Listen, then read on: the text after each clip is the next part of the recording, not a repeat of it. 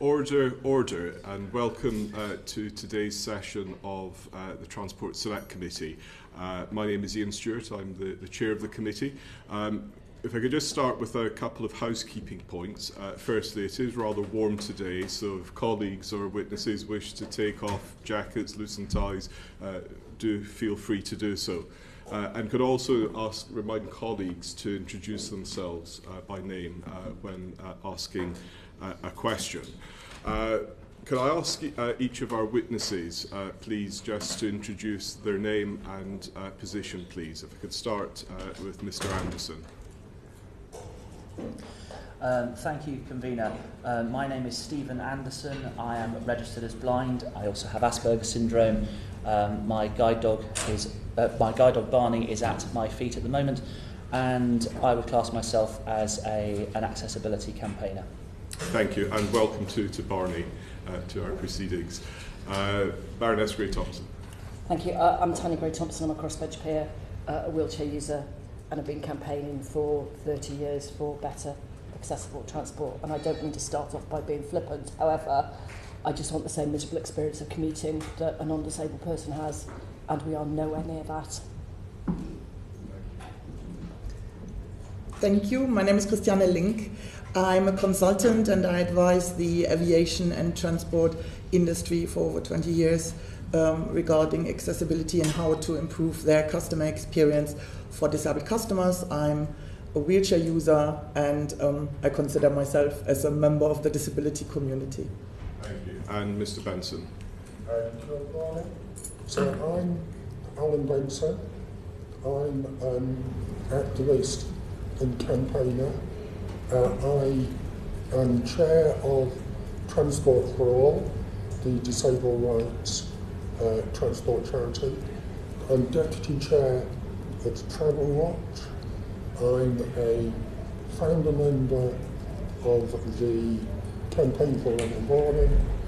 Uh, I'm on the Southwest Rail Accessibility Panel um, and a number of other But today I'm appearing in my own right in a personal capacity. Thank you very much and, and welcome all. Um, the, our purpose in this inquiry, and this is the first of the oral evidence sessions uh, we're having, uh, is to consider both uh, whether the existing legislation and regulations uh, covering uh, access to transport is sufficient or are there gaps, and where there's a uh, a lack of enforcement of uh, regulations that are already there. And uh, in this session, my, my colleagues and I will want to explore in detail some of the specific issues. Uh, but if I could start with uh, to invite you all to make a very general observation. Uh, in 2018, the government stated that it wanted everyone to travel easily, confidently, and without extra costs. From your perspective, what's the reality today? How how comprehensive is that uh, transport statement uh, from your experiences? Uh, Mr. Anderson, if I could ask you to uh, start, please. I think it's a very binary thing. In my experience, there's no such thing as an okay trip. It either goes very, very well or goes very, very wrong. I've had experiences where, if I take the example of um, private hire vehicles, I've now had 43 separate refusals where a driver has failed or refused to take me because of the presence of Barney, and that does not necessarily set you up very well for a good morning of work. Or if you're going out just wanting to enjoy yourself, I have also been denied access to a cruise liner, even though I turned up and had submitted all my paperwork um, beforehand and was advised that the equality legislation, because it is a ferry, uh, because it is a cruise, does not cover that, uh, despite that being the case in the United States and in other places. I've also found that abuse from members of the public is quite common. Um, if I take Baker Street Station alone, I have had abuse hurled at me in the last 12 months three separate times, all of which have contained the line, and I apologise for the language, you're not fucking blind. And the police have done the square root of nothing about those things, and I do have some ideas on that to really tighten that up, as well as access refusals um, for private hire vehicles and indeed for cruise liners. Thank you. That is appalling that uh, you uh, receive that, that abuse. Um, and I'd like to pick up on some of the, those points in a moment. But uh, if I could ask uh, Baroness Grey Thompson, and could I also ask you, I've had a note from our sound engineer, if you could move your laptop slightly away from the microphone, uh, that, would, that would help. Thank you. Thank you very much. Um, the simple answer to the question is no, that public transport routinely fails disabled people. Um, I was asked recently by a train operating company give me an example of an amazing experience. And I'm afraid uh, I have slightly slipped into being able to get on and off a train. I get very excited about and you know being able to get on and off in a timely manner, and that is not uh, an amazing experience. So when you take in the extra time it takes to plan, uh, to travel, uh, mainline train stations now expect a wheelchair user to be there more than 30 minutes before the train. We have such a different experience. So this is partly a failure of legislation. So I sat on the National Disability Council, which oversaw the implementation of the DDA. We were promised January the 1st, 2020, everything would be fine. Um, Scope's uh, latest figures is that is going to be 2070 before there is step-free access to the platform, not even the train. And I think the government's own stats uh, are talking about 100 years. So in my lifetime, I will not be able to get on a train without the permission or support of a non-disabled person. Um, and there's a complete failure to enforce. Um, we're constantly told it'll never happen again, it's just you, we're really sorry, and we're expected to go away. And I think one of the most offensive things I experience is um, turning up at a train. So I live in the northeast of England, so I use trains a lot, maybe 150 train journeys a year. Um, it's you're asked, did you book? Mm. Um, and it's a constant negation of the fact that we have lives, we have work, we have families, we um, are constantly treated differently.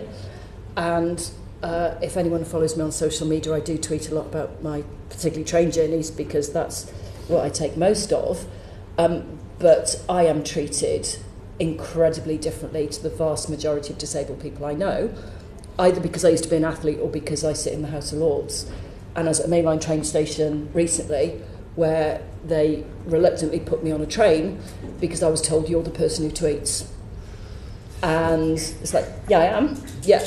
And so I, I think uh, we, we just have to recognise there are a lot of disabled people who just don't have the time, energy, the focus to be able to complain every single time because our complaints are generally battered away. Thank you. Christiane. I think one of the biggest barriers to travel by, by train is the lack of reliability of the service. So every passenger who had a so-called failed assist, that means you board a train and no one is there at the other end. So you might either get overcarried or you have to find some kind of solution. Go on the floor, drag your wheelchair out of this huge gap. It's a health and safety issue as well.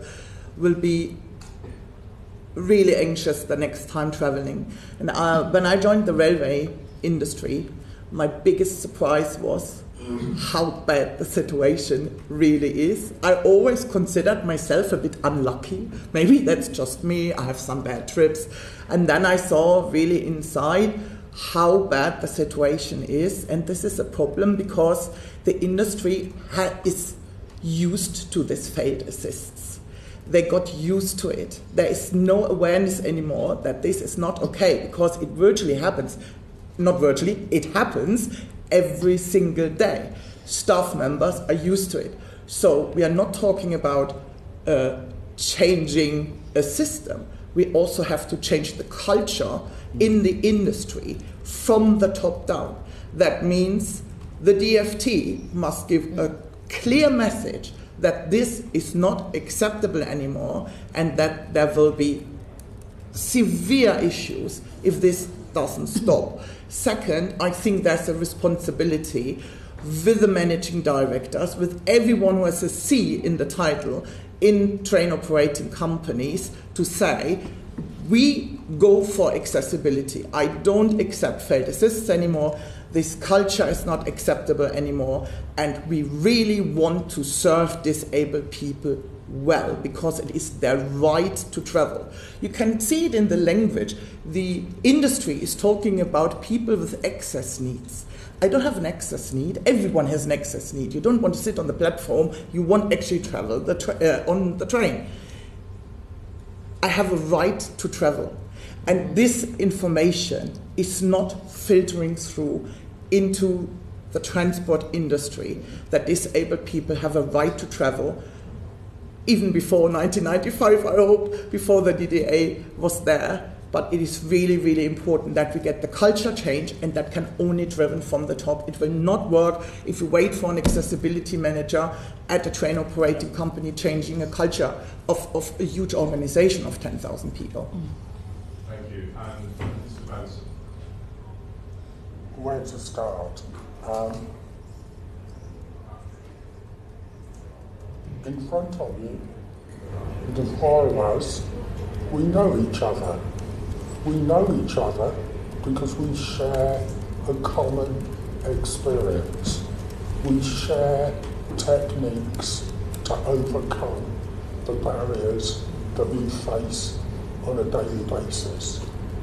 We are for and representing a network of hundreds not thousands, of people that share the same experience.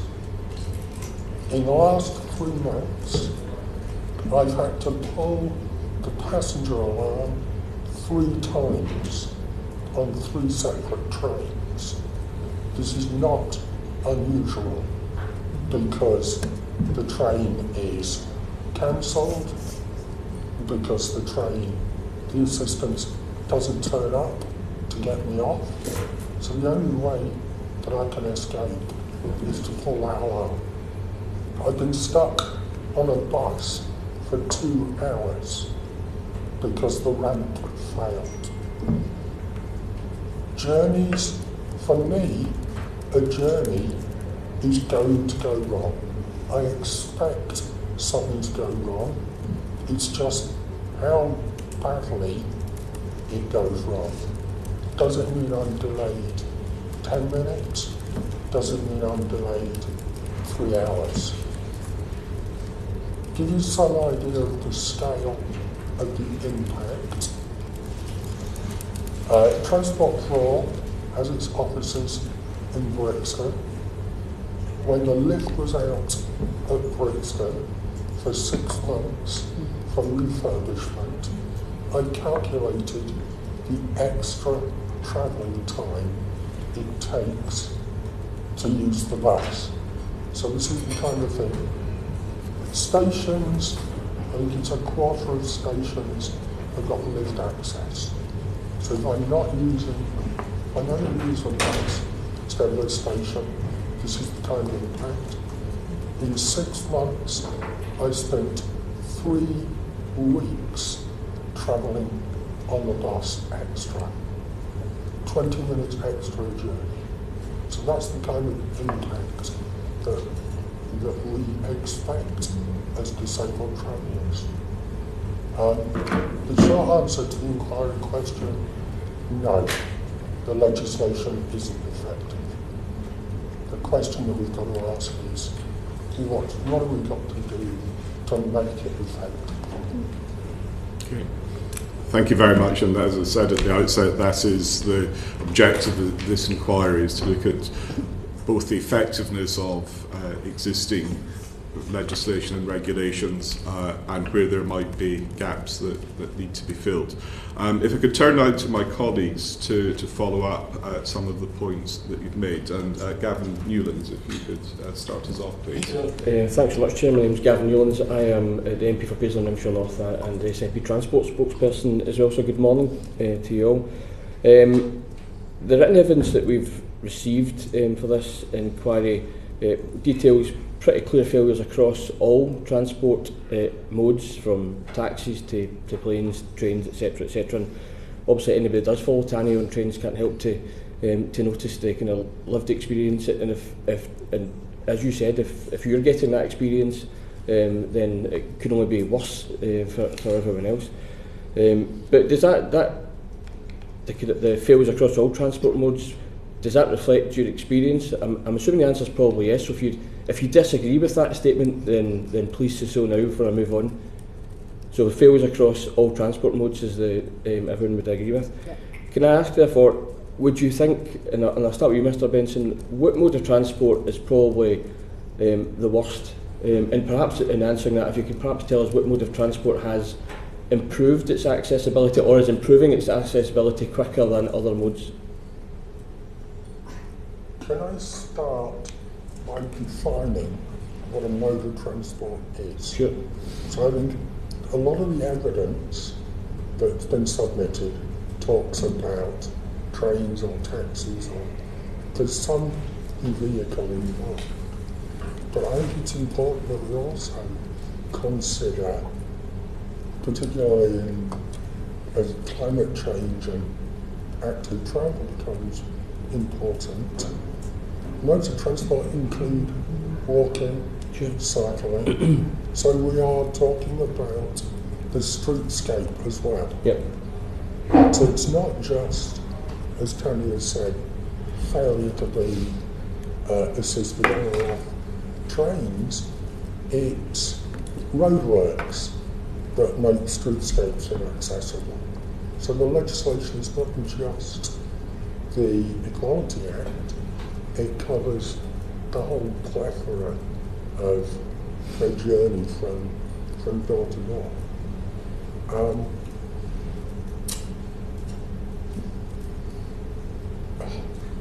which is worse? That's such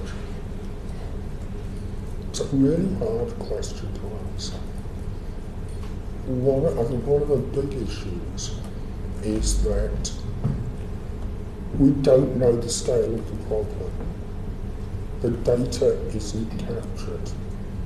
I picked up in the evidence that was submitted that Southeastern uh, said they only had 300 and something incidents a year. That's rubbish. Um, certainly, I was one of those incidents. Well, I was an incident on Southeastern where I was overcarried, but I didn't report it. I, they don't have that statistic because it's the complaint procedures exist, but if every journey I take has one or more failures, I'm not going to complain about every journey. It's just too tiring.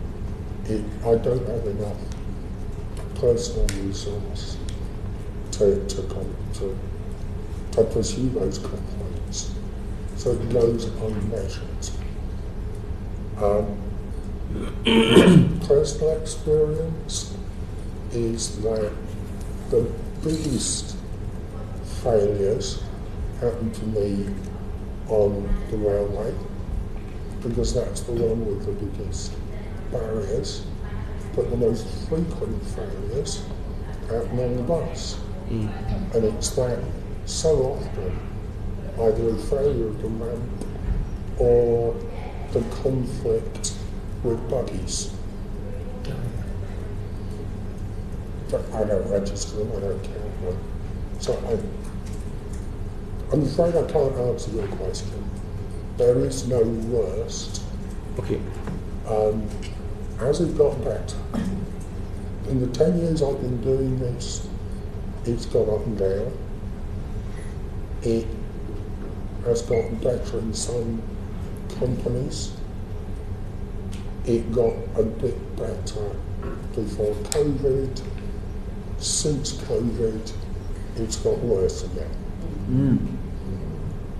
So, can I ask just, you mentioned, and you're absolutely right, about streetscape and street environment and, and obviously the, the big move, particularly Scotland, to, towards active travel um, at the moment, um, and also e-scooters and e-bikes. So in terms of access to, even to buses or access to streets, obviously we've seen some complaints about some active travel schemes that are become an issue for um, people accessing a bus or even just walking or trying to out, walk the streets and also the clutter from e-bikes etc. Perhaps you want to comment on your experience with that before I move on. No, I'm sure Stephen will Sure. have Yeah. a lot to say on this. Um, e-bikes particularly for me are they're litter. They're, they're absolutely everywhere.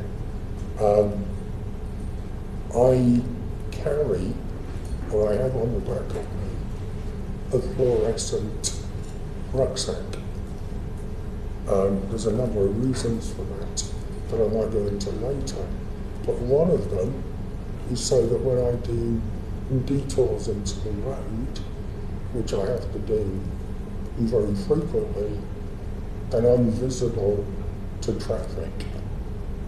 Um, it's a conscious decision for my own safety.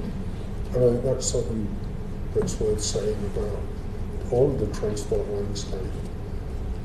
Whereas you, as a, a, a passenger, are likely to get on a train or to embark on a journey thinking about your destination. I'm thinking about what I can do to make that journey safe and successful. Okay, thank you. So, um, Mr Anderson, so the, the, the wider question with regards to different modes of transport, but obviously um, the specific issue with regard to um, active travel schemes and the design thereof um, and the other street clutter. Um, Yeah, so in, in terms of e-scooters and the like, um, they, they, they are, they're not e-scooters, they're e-fly tipping to me. Because when, when I navigate with Barney, he'll just stop, which is what he's trained to do, and he does very well with it. But we end up with a problem where he then basically stops, and then I have to go, right, now I've got to go into the road. And this is where we get to a point where my head starts going, but I want everybody to be green, I want everybody to act in an environmentally friendly way. But this can't continue. Equally, if I raise a concern about this, am I going to be shamed, particularly on social media, for daring to suggest we should do something that might discourage people from using e-scooters in, in, in a minuscule way? And I think that's, there's that juggling act um, that that we really have to, to, to take into account. Well, that, that mentally, I think, as a disabled person, I have to take into account, but I feel comfortable saying that here. I think we need some form of enforced docking, like you do with the, um, the, the Boris bikes in central London, uh, assuming they're, they're all docked, of course. Um, but I remember when I was at school, St Vincent's School for Sensory, uh, uh, sorry, I'll start that again. St Vincent's School, a special school for sensory impairment and other needs. I was told that as you grow up, your independence is going to be compromised and your incidents of discrimination are going to go up.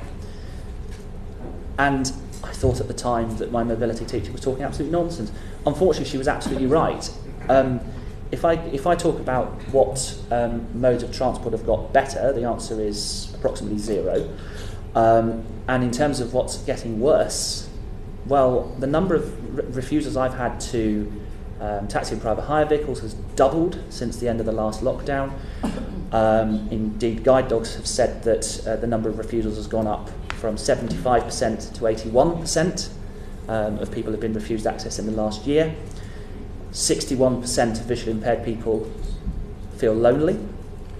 And these are all things that we have to take into account. And I think even the, the, the idea that when I was kicked off Fred Olsen Cruise Lines, and I've waited six years to say that publicly, um, it, it, the, the whole thing of having to think seven steps ahead and uh, is, is, is what is, is my journey going to be less bad than it was last time?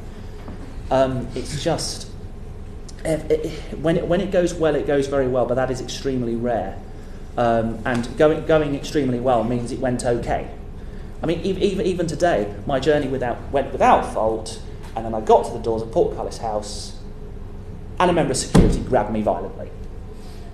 And I'm sorry to bring that up to the committee, but I was not very impressed, and the security guard shouted at me for about 90 seconds total. I stood up for myself and stood my ground. But that's an example of the kind of attitude that we're dealing with a lot of the time. So I thought I'd just put that on the record. Can I just say before I go back to Mr. Newlands, um, thank you for raising that with us, uh, and I apologise on, on behalf of Parliament that you've had that experience. Uh, we will be taking it up uh, with the security uh, people here uh, to make sure it doesn't happen again. But again, I apologise on, on Parliament's behalf uh, for that uh, experience you had. It's not acceptable. Uh, Gavin. No, thanks so much, Chair. Um, obviously your experience of trains has already been touched on thus far, so is there perhaps experience on other uh, modes of transport that um, and have you seen any improvements? I mean, we've now got, for instance, for talking bus regulations and finally in place, which has taken far, far too long. Just just one instance, but um, other examples for you, or good or bad? Uh, the reality is it's so variable and so much yeah, of the time yeah we're reliant on people rather than policies procedures and infrastructure. So you know one of my frustrations is the 2012 Paralympics were incredible the best moment of my entire life. But there's some real tick box compliance that because we had the games I'm constantly told to change the rule for disabled people. So we might now have ramps on taxis in London but it's reliant on the taxi driver. So I had an amazing experience last week where a taxi driver stepped in, helped me in a situation. But I'm the same, I've, I've had so many transport failures. Um, and rather than reiterating what's been said, because I support um, both comments already, the impact since COVID has been a real challenge. So during COVID, the wheelchair space didn't count as a seat. So the number of times I got refused, even though I booked the wheelchair space, train companies wouldn't let me buy the ticket because it wasn't a seat, and I'll, I'll write to the committee with more detail about that. That shows the complete lack of priority. That um, wheelchair spaces on buses and trains are quite often filled with luggage. It's down to the individual to remove them. Um, airlines, I've had to fill in a form uh, a couple of years ago, admittedly, where the form said, "Would my impairment likely cause offence to other passengers?" Uh, no. What, Um, what airline was that? uh, I'll write to the committee about it. It's not, it's not, actually, it's not just one airline. Okay, fair enough. And, and some of that's got worse. So um, routinely now, disabled people are being told they're not allowed to fly on their own because of health and safety. Yeah. Anyone looks at Sophie Morgan's Twitter feed will see that her wheelchair has been damaged yet again. The biggest challenge is when you get on a flight, will your chair even arrive or will it arrive in one piece? Just some bills on. Um, we need to be looking at cars um, and blue badge parking. So York has uh, recently gone through big kerfuffle about removing blue badge parking. Uh, the abuse of that, I think, is, is something that, that we need to, to be looking at. Um, I tried to change my car to an electric car last year, couldn't do it because the complete inaccessibility of any electric charging points anywhere near where I live. Um, up steps too far away. Again, disabled people are going to be battered over the head when you know we're asking the country to move to electric charging vehicles, and disabled people can't do that. Uh, try and get an electric wheelchair accessible vehicle in the United States. They cost at least thirty thousand dollars more. So um, you know it, it's not moved on. And when you've got a company like ScotRail that bans scooter users, you know, um, because one time somebody did something with a scooter. So uh, every scooter user is now banned. So I am in discussion with ScotRail about changing that policy. Sorry, you Uh, mean mobility scooters? Mobility scooters, yeah. So, so my solution, which I came in on this morning, I've got a battery pack extension to, to my wheelchair. Very expensive, uh, at least five thousand pounds, but I have that, so I don't have to use public transport because it's so unreliable that you can't base your life on on, on trying to, to, to use it. Um, and because the hours we work here, you know, getting home late at night or early in the morning, it's just so I'm, again I'm unfortunate position to do that. Um, I should say the, these are not there's no legislation that covers them, and and we need to be looking at that because actually, if we pass any legislation that inadvertently bans these beyond my personal use of it, we will be having a, a massive detrimental effect on thousands of disabled people who um, will, will find it even harder to get around than they currently do. Okay, Christiane, anything to add? Yeah, I think we, um, since COVID, um, the society is not used anymore to disabled people, and you can see that in every form of transport. the standards are so low at the moment. Um, check-in staff that they don't know how to book a battery in from like a device. Mm-hmm. I have the same device as Tanni. Um, uh, that is a standard uh, lithium battery I put in my handbag. That is, is not dangerous. it took me 90 minutes last week to check this battery in. Basically, nobody knew which form, who to call, whatever. Um, and then and then they asked me at the end, what's the weight of the battery? 500 grams? I don't know. So um, that there are no standards anymore. That was not the case before COVID. There were routines, people were used to see wheelchair users, other disabled people, um, cane users, guide dogs, and so on. That has totally dropped and that has a massive impact on disabled people at the moment. That's why we need a massively proactive approach by the regulators. Mm. If the regulators don't stop that basically now, we will go further downhill in the next couple of years because the standards and the processes are not there. I know a lot of organizations had to train their staff quite quickly after COVID. Uh, passengers numbers were, were going up more quickly than expected. That's good news, actually. I understand what the challenges are, but again, we need proactive regulators, both for aviation uh, and for transport, for rail, and so on. It can't be that we, as disabled passengers, are now playing the role of ORR inspectors saying, hello, there's another non-compliant ramp which should be replaced before mm. COVID already. Mm. That is, that's not our role and that is not acceptable in any other areas of life. I mean, you can't do your MOT yourself. You have to go to someone. So why do I have to regulate now the services I use, then have to go to the regulator and say, hello, can you please do something about it? So I think we need more proactive approach by the regulators. They need more resources. They need enforcement powers. Mm. It will not go without it. Even so, I, I fully understand the ATP is a good frame ORR framework. It's good. It is far better than what we had before. The same is true for the for the 1107 2006 in in aviation. It is we came a long way. I fully understand that. But now is the time, because of the downhill of the standards in the services that someone has to stop this uh, direction because it will have a it already has a massive effect on disabled people. Mm. It will have an impact on their health. Traveling means health, traveling means access to employment, access to quality of life. If I just sit at home, that is. It, it, transport has a purpose. People want to go on holidays. They want to enjoy their life. I go on business trips all the time. That's how I earn my money. Why should I stop that? But I need the support of the regulators and the people in charge to make sure that the standard is acceptable. Otherwise, it becomes unbearable. Thank you. Go turn uh, uh, to Graham Morris. Thanks, Chair. Uh, my name's Graham Morris. I'm the Labour Member of Parliament for uh, Easington in the northeast of England same region as Tanni actually. Um, and um, I'd, I'd like to follow on, on, on some of the answers you've just given.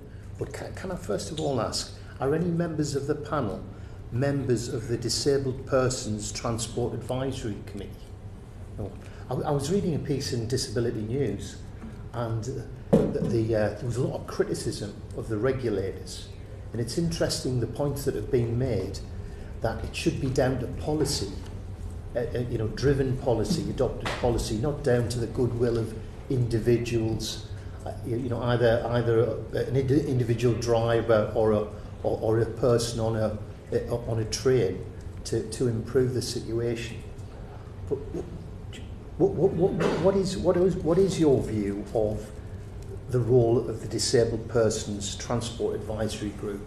Uh, the, the criticism that I read was that they weren't being transparent, You know, when, when there was criticism of ministers and policy, they weren't forthcoming with freedom of information requests. Is that a fair criticism?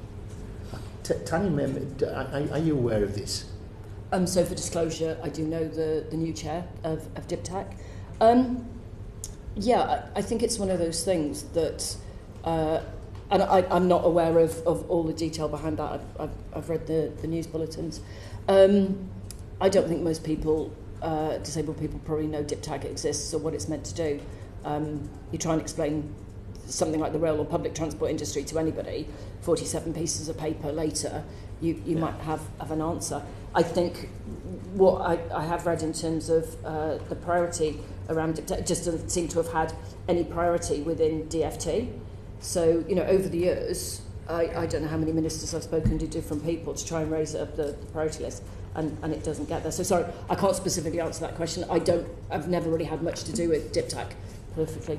So just to just to reinforce the point you made earlier, uh, earlier that your colleague Christiane made uh, about whether um, improving accessibility for disabled people is a priority for the department and for ministers. What, what, what is your opinion of that?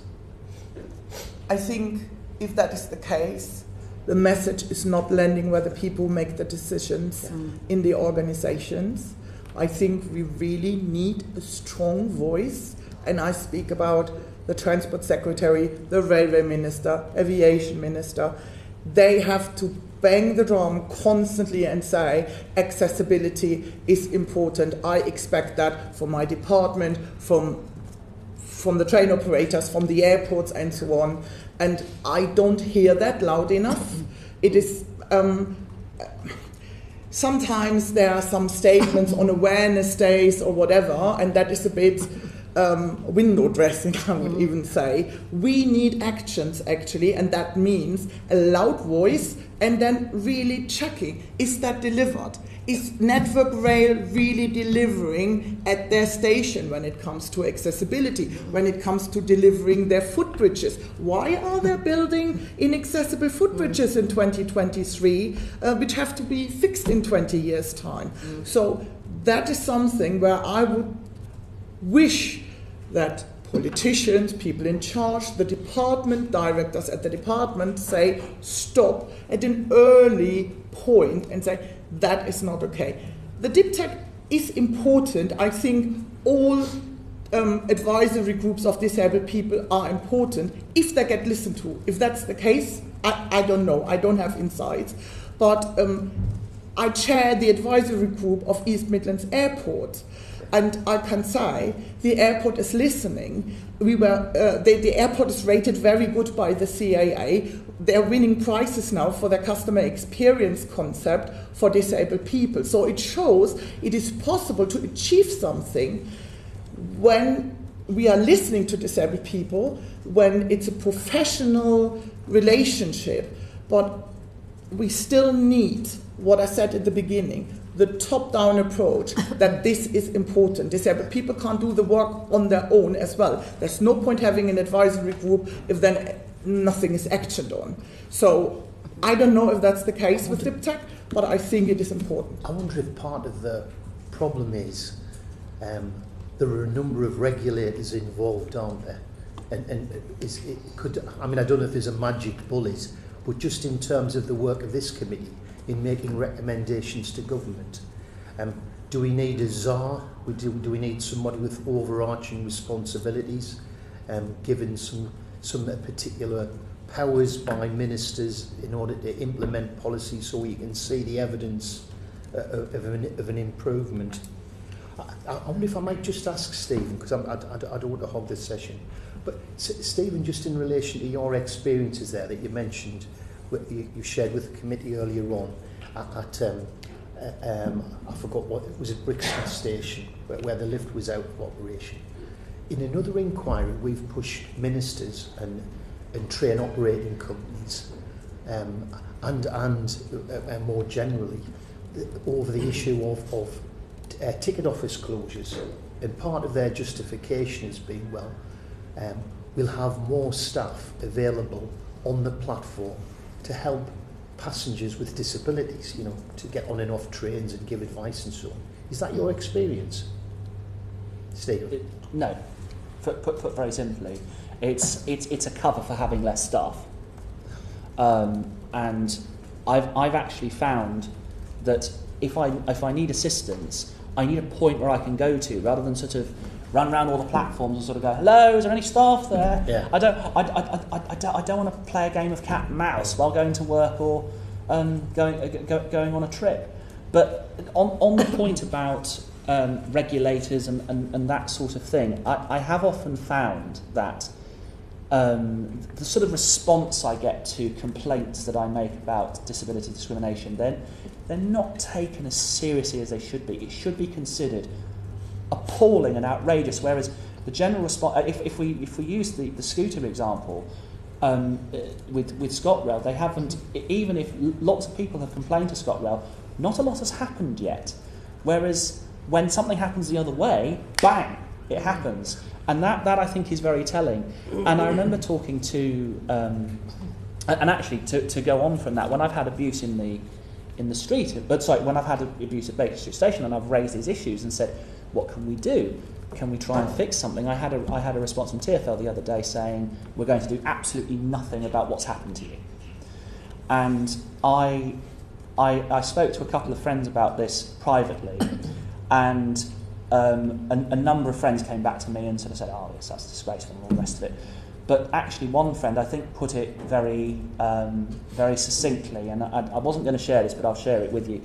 Um, they, they came back to me and just said, and, and, and, and we can speak candidly, and I sort of said, I don't understand why TFL aren't listening to me. And she just came back to me and she said, You're disabled. You know you don't matter to them. You don't matter at all. And the problem is, she was absolutely right. And the problem is, is that with, with these regulators, there is no teeth. Yeah. There's absolutely no teeth. When, when we've had people who have had pros- uh, uh, taxi refusals, nothing has happened. Prosecutions haven't occurred. Licenses haven't been revoked. These should be automatic. Somebody should be saying, excuse me, what, what's going on? I don't really feel that there's enough of a regulator to sort of bang the door down. And, and enough of this awareness stuff. We actually need something to happen and for it to be made loud and clear from the highest echelons of government. This is totally unacceptable. We are not going to stand for it. And the sooner we can get to that position, the better. Um, here endeth the lesson. Can, can I. That's, that's really helpful. You know, I, I just want to ask Alan if, you, if, if there's anything you can add to that. I think your, co- your colleagues have been quite eloquent and forceful there. I, I would agree with everything that they've said. And I would add, no, I've not met anybody who goes to work without the intention of trying to deliver a good service. Whether that's ministers, uh, bosses, managers, doesn't matter. They all um, go to work with the intention of delivering good service. It's how, how that's implemented. Now, I note from the evidence that's been submitted that almost everybody wants stricter enforcement and more regulation. Yeah. That's including the operators that are subject to these rules and regulations. So it's, it's consistency and knowing what it is that they need to do. If we look at the health and safety legislation that was implemented in 73, that's dramatically changed the accidents and injuries Yeah. across society. But our approach to disability legislation is derogations. Yeah. We'll let, we'll avoid making coaches accessible for 20 years. Yeah. We'll avoid updating uh, stations or trains. It's all about, it's too expensive to do it now. So we'll do it next time. And until we treat accessibility like we treat health and safety, it's not going to change. Yeah. yeah. Okay, thanks, Alan. That's useful. Thanks, Chair. Uh, thank you, uh, Graham. Uh, turn to uh, Jack Brereton. Thank, thank you, Chair. Uh, thank you for all of the uh, hugely varied examples that you've given, both in terms of uh, those physical barriers and also some of uh, you know where processes are not really being followed effectively. Um, so, firstly, to to Christine, why, Christiane, why um, do you think it is that we're in this situation and it has got uh, so bad with some of these barriers? I think the most important point is the priorities are not right at the moment. I think, um, uh, yeah, we, we fell a bit behind, or it was not the priority. It was, as, as Penny said before, 2012 was the best time of my life as well, because we, we got it right. Everyone was well trained, the processes were clear, disabled people were welcome in society, and that has totally changed since since COVID. There is another, there's a different feeling. And I think another problem is because the standards have fallen after COVID and because society is as it is at the moment, um, at the same time, there was nothing to strengthen the regulators in the past 10 years. I think you have a good system. The OR, we don't need a czar. I don't think so you need to strengthen the systems we already have in place. They need more staff, they need more money, they need more power. I think this is actually relatively easy to fix. We don't let other industries uh, treat customers in the way they're treating disabled customers. And I also think it's a matter of fairness. If you look at the, at the CAA ratings of, of the airports, there are airports rated very good. It's not a huge, it's not difficult to find out why that is the case. They invest in, dis, in their disabled customers. They have they, they build new accessible toilets, that they buy new ambulifts. And then there are others who get poorly or room for improvement, I can't remember how the, the rating is called, or needs improvement. Um, they don't invest, but then nothing happens. So it's also a, a, matter of fairness. So why are they, okay? The airports get a good, ra- a good or very good rating, and the others. So what's happening with them? So that's okay that they don't invest. That's not fair. So we need a regulator also to get economic fairness into the system, because if nothing happens, what, What's the problem then? Yeah, maybe a customer will complain, but again, it's also very difficult to complain in aviation because um, applicable is 1107. That is not a law where you can go to the court easily and say, Hello, I got discriminated against, please give me compensation. Equality Act is not applicable as soon as you step onto a plane. It's gone. I, can't get compensation. I can't sue the airport for treating me badly. It's quite difficult. It is a regulated, regulator-based system, but the regulator is not strong enough in the UK. I just won a case in Switzerland, funny enough, um, against a Portuguese airline who denied me boarding from London. I went to Geneva and got um, denied boarding. Switzerland, not even a European Union country, based on European Union law, it went to court. I have no idea how, should, how I would achieve that. The same happened to me in the UK. So it's a bit absurd. Switzerland is enforcing the European Union law better than any other EU member state in the UK who was in the European Union and has a strong regulator. Something is somehow out of track. Tanni, you obviously mentioned about the huge number of stations that we've got across the network that are still not uh, DDA compliant. And I heard you talk before about you know some of the huge challenges you've had with things like lifts not working and some of these problems. How, how frequently are these sort of issues uh, happening and occurring? So I think the latest stats I've seen that any 1.2% of network rail lifts are not working. Right. Um, and then if you, you look at something like the tube, so recently I was trying to get to London Bridge and the lift was out, no announcements on the platform, uh, legally, uh, TFL lost a court case to Doug Paulley where they're meant to put out signs at gate lines. That's not done. That wasn't done last week either when I was travelling on the tube. So, you know, we, we need to be more creative. So quite often lifts are seen as the answer instead of actually thinking um, more creatively about how you can wrap, you know, what Christiane was saying about how can Network Rail build a footbridge that has steps in this day and age. It's how, how did it get, get through? So I think what we're seeing as well is, oh, now we've got an app to book assistance. That's better than it used to be. But um, Tony Jennings, who I know has given evidence to the committee, he, he said, you know, um, an app can't deploy a ramp. Mm. You know, and so we're, we're being told life is better for us, but we're not necessarily seeing that in reality. So unless we actually bring a process of, of buying, you know, uh, low floor trains, actually, you know, actually starting to do something now, we are never going to get to the point to do it. And uh, again, I think something that Tony submitted was that the overspend on the Elizabeth line on Bond Street is more than the government is spending on its access for all budget in total. And so, you know, it's we this can't be a- allowed to, to keep happening. Um, but I think it's because, you know, Alan said, it's really hard to complain. And it's not reported, it doesn't c- come up the system. So every time we're just, it's just, it's just one person, it's just you. It's just unfortunate. Um, you know, um, as, as much as I really dislike, uh, you know, asking a non-disabled person to sit in a wheelchair uh, because it doesn't give you any uh, example of, of lived reality.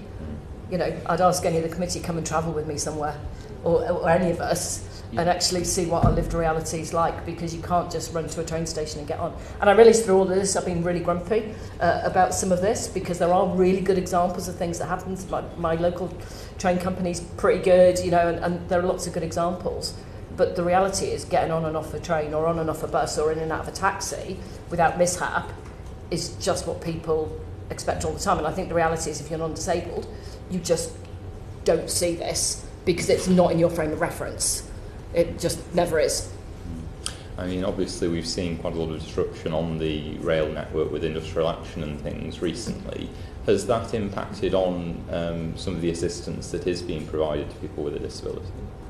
Um, so for, for that, I'm, uh, if my life is not disrupted any more than a non-disabled person's life is disrupted, I'm sort of okay with it. Yeah. You know, it's like, you know, um, whether there's leaves on the line or something like that, that's not some, you know, because we're being treated the same. Yeah. Um, it's when, and apologies to keep bringing it back to trains, but, you know, uh, at, at so many um, mainline train stations, uh, the assistance desk is not open for the first train in the morning. So from King's Cross, when I want to catch the six o'clock in the morning train north, uh, the assistance desk doesn't open till gone seven. So it's things like that. Exactly the same with the, the, the ticket office trying to find a member of staff. Um, if a train's cancelled, which happened to me on Sunday, you're running around Doncaster train station trying to find somebody to get me on. And then actually my assistance was cancelled halfway down. No one met me at King's Cross. Actually, somebody on the train obviously follows me on Twitter because I had five members of staff who got me off the train, which never happens. So, you know, it's the, the normal disruption is the normal disruption. But um, the rest of it, I, I think I probably spend a couple of hours a week longer than a non-disabled person, either planning or uh, so, it, it's that extra time every single week that, that I spend just trying to get around the, the UK. Um, Stephen, you've mentioned about some of the barriers that um, particularly uh, partially sighted people are facing um, on uh, pavements with you know obstructions and issues like that. Um, what are the barriers that people facing um, you know on pavements? Because we, this committee's obviously talked a lot in the past about things like pavement parking and those sort of issues. Uh, are there you know continued concerns about some of the barriers? that um, blind and partially sighted people are facing which, in what is meant to be you know, a safe space uh, of, of pavements. Yeah, so I, I think e-scooters are absolutely right. I when when I go to um, where I'm director of music, St Thomas's Church, Kensal Green, on a Sunday, uh, the road there regularly I'm having to um, navigate e-scooters, and there's nothing really I can do. I just have to sort of sulk, go into the road, and then come back in. Um, but in terms of vehicles, um, as as a public servant, I, I'm able to, well, I've, I've learnt the processes.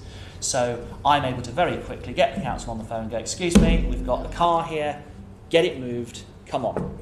But a lot of disabled people are not in a position, uh, well, uh, sorry, speaking for blind partially sighted people specifically, um, uh, uh, for whatever reason, are not in a position to do that. And it shouldn't be me going down a road, sort of getting my phone out like I'm, um, like I'm some kind of enforcement officer all the time. Um, I'd love the salary to go with it, but it, it really does make life quite quite miserable. If I may tap back into something that was said earlier, and it was absolutely right that um, the Civil Aviation Authority and the, the Swiss case, I had the same problem with Fred Olsen Cruise Lines in that The Equality Act and the equality legislation doesn't cover them at all. I had to settle out of court because there was absolutely no way that I could do anything about the way I had been treated and the way I'd been discriminated against. And there was just no teeth. So, so again, it comes back to this we, we need a way to be able to, like many non disabled people would consider as a given, have a single button process to trigger action and not have to follow it up with hundreds of hours of emails, hundreds of pounds worth of litigation stuff going on, and just make it happen. And that it's that simple. Disabled people, I think there were some stats from Scope the other week that said that the um, disabled people have additional costs of uh, about a thousand pounds a month in addition to their, their other expenses.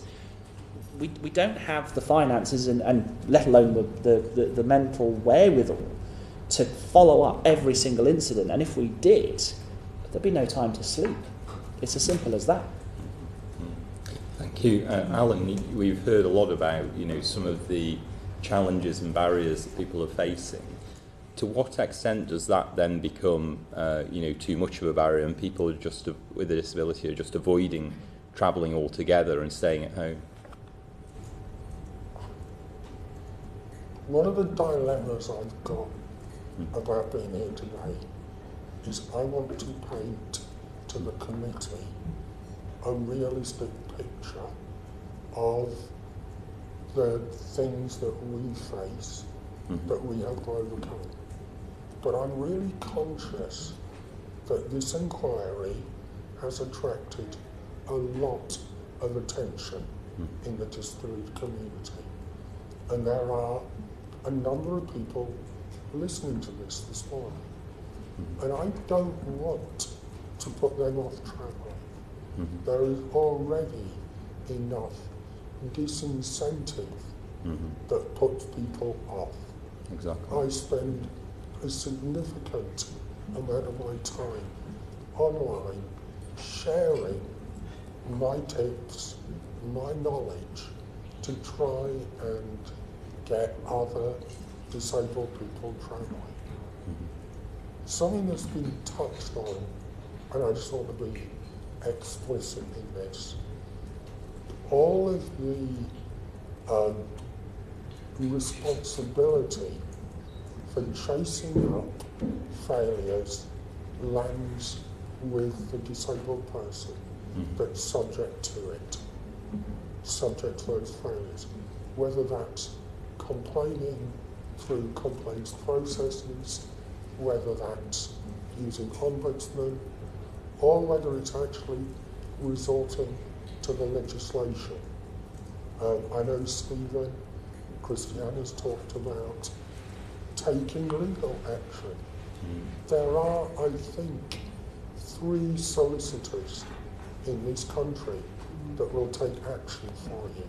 Mm. There are a handful of barristers that will take it to the High Court it comes down all the time to me as an individual having to be my own solicitor and go through those legal processes that are quite frankly scary and risky because there's significant financial risk.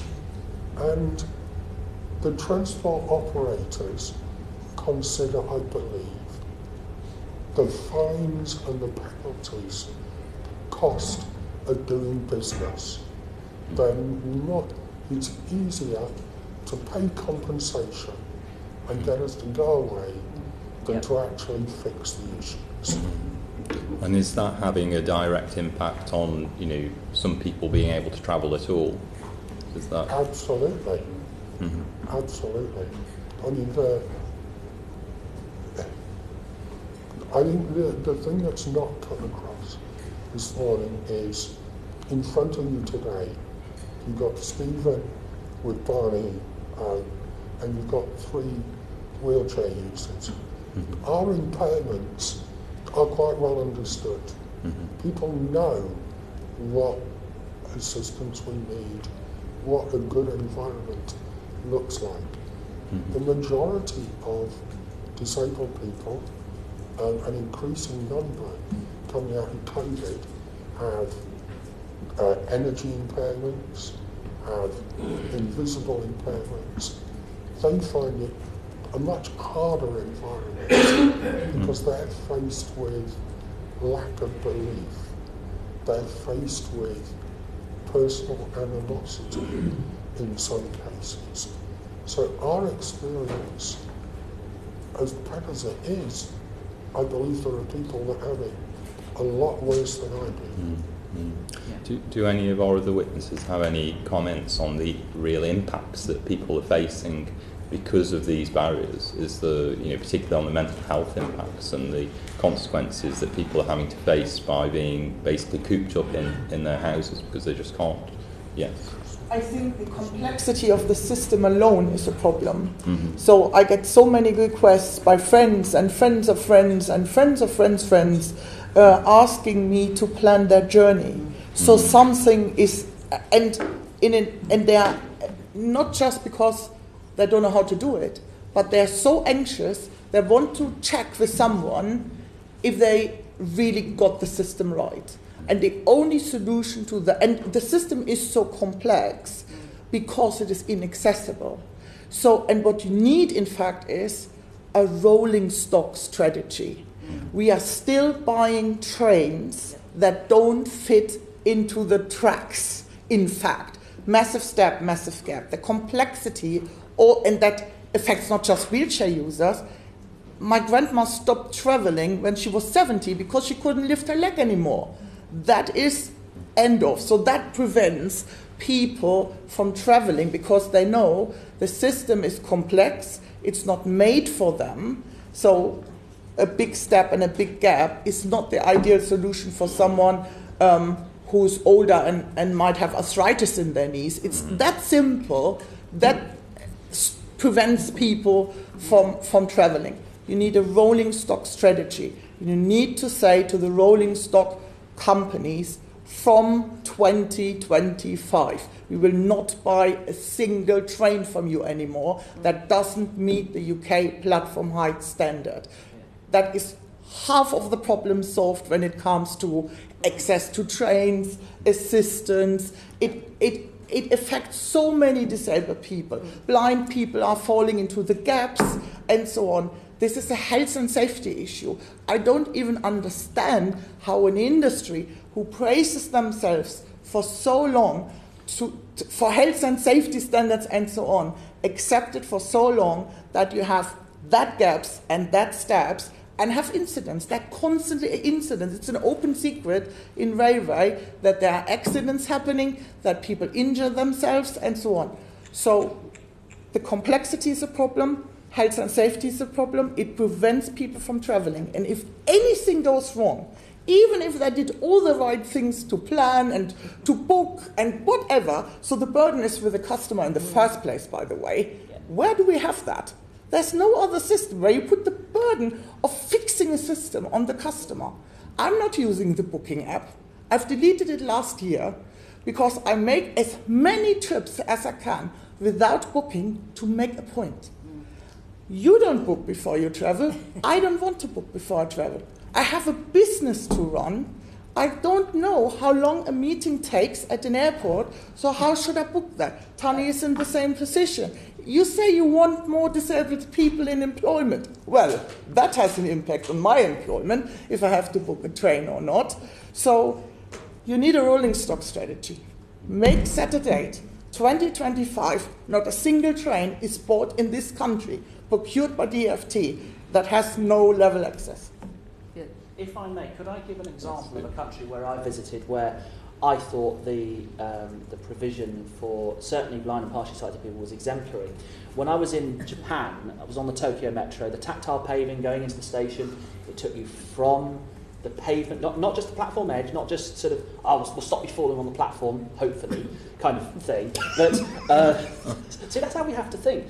Um, it took you from the, the, the, the, uh, the pavement outside, the tactile paving took you into the station, it took you to the ticket office, it took you onto the platform, and then there was level boarding at the pla- on, on the train. When I got on with assistance, I then, and this is an example of how bad um, assistance can be, I count how long it takes for someone to arrive. It, average in the UK, about 10 minutes late. Japan, this lady was six seconds behind the train arriving, and she apologised for being late. Now, I, now I, I said if I, I, I made some comment to her along the lines of, "Goodness me, if you're sorry for six seconds late, you should come in the UK. You'll get onto the honours list in no time because that's fantastic." And even on the bullet trains, assistance was great, level boarding was great. And when I went, I was we were leaving Hiroshima one time, and I went up to them and said, "Oh, really sorry. Do you mind if we go two hours early?" Now in the UK, well, you should have booked this. Shame on you, sort of sort of attitude.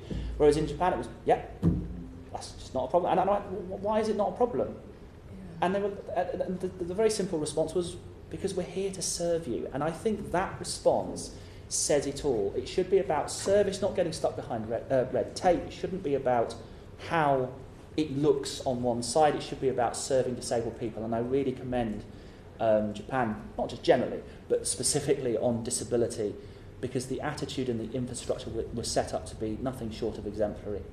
Tanni, is there anything that yes. you wanted to add on? Thank you. Um, so one train company several years ago sent my picture to uh, quite a significant number of staff and said, if you see this woman on the platform, do whatever you can just to get rid of her, uh, which was quite interesting. Um, so Christiane's right, you have to be an expert in the system and you have to be an expert in every single mode. And you also have to be an expert in which, say, train stations or bus stops are accessible because actually a lot of the information held is wrong. So uh, a little while ago, I was able to book assistance to a train station that was completely inaccessible. So the whole information system uh, needs looking at. We haven't covered um, bus stops that co- cross cycle paths. Uh, we've we've got some just over Westminster Bridge that actually have an impact on on disabled people.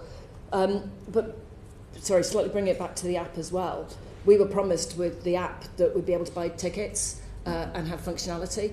A lot of the train companies don't even use the app; they're developing their own. Um, you have to try and you know book a cheap ticket and then try and book assistance and hope that you can get it. So the impact it's having is on um, absolute people's mental health and well-being. And I'm the same as, as Alan and others. We want people to travel, but they also have to know a little bit of the reality. So the government strategy of getting more disabled people into work is, is brilliant. I, I massively support it. But unless we, we look at that in the whole round of, of how disabled people are able to get to work, then it's, it's almost impossible to do it. I think, certainly, I sat on the board of TFL many, many years ago, and the, the policy in place at the time, it was only if a disabled person had to spend more than 40 minutes extra travelling, that counted as an inconvenience. Um, so, you know, you know, maybe it should be five minutes, but, but we're constantly dumbing down um, all the expectation of, of disabled people. So, and, and sorry, just picking up on Christiane said, you know, level boarding is a must. You know, Merseyrail, okay, it's a closed loop network, they've been able to do it, but that's fantastic.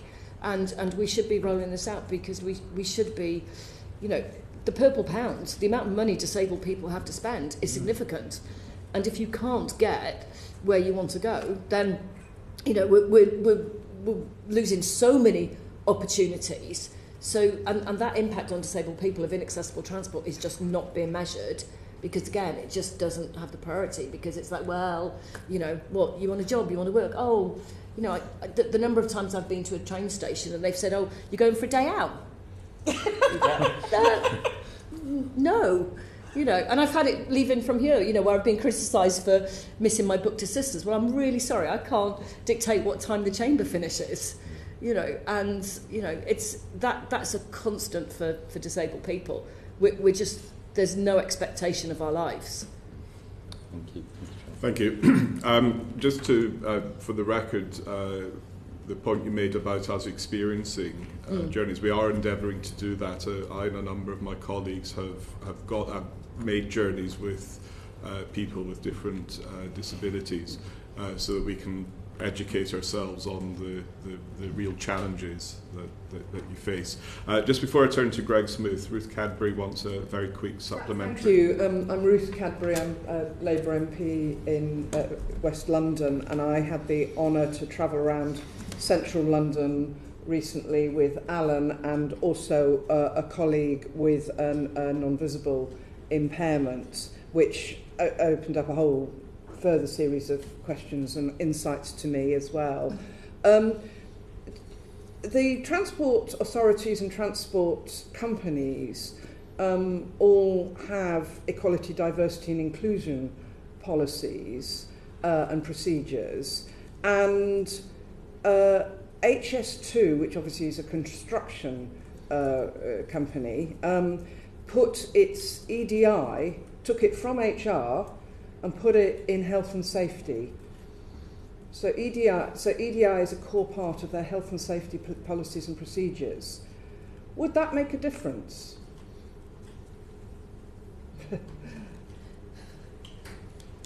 Maybe, but I suppose the, cha- the, the, the, the, the, the, cha- the challenge is the proof will be in the pudding. Um, it can, it, it, I, I, mean- in, in theory, it sounds fantastic, but it also depends on what that policy actually says. So that's so that's the other challenge. Um, so yes, I, I suppose in direct answer to the question, it depends. Accessibility definitely is a health and safety issue. I agree, I agree with that. And um, uh, when I was head of accessibility at GTR, one of the first things we did, I wanted to have a, a deep overview where the assists are coming from, where they are happening, and especially why. And we used health and safety tools to achieve that. So I see the link, but just to put a policy in another department is not delivering anything. Yeah. The question is, what is the delivery then? What are the processes? And again, is the board of HS2 on board? What's with the directors, CEO, and so on? That's far more important than where the policy is.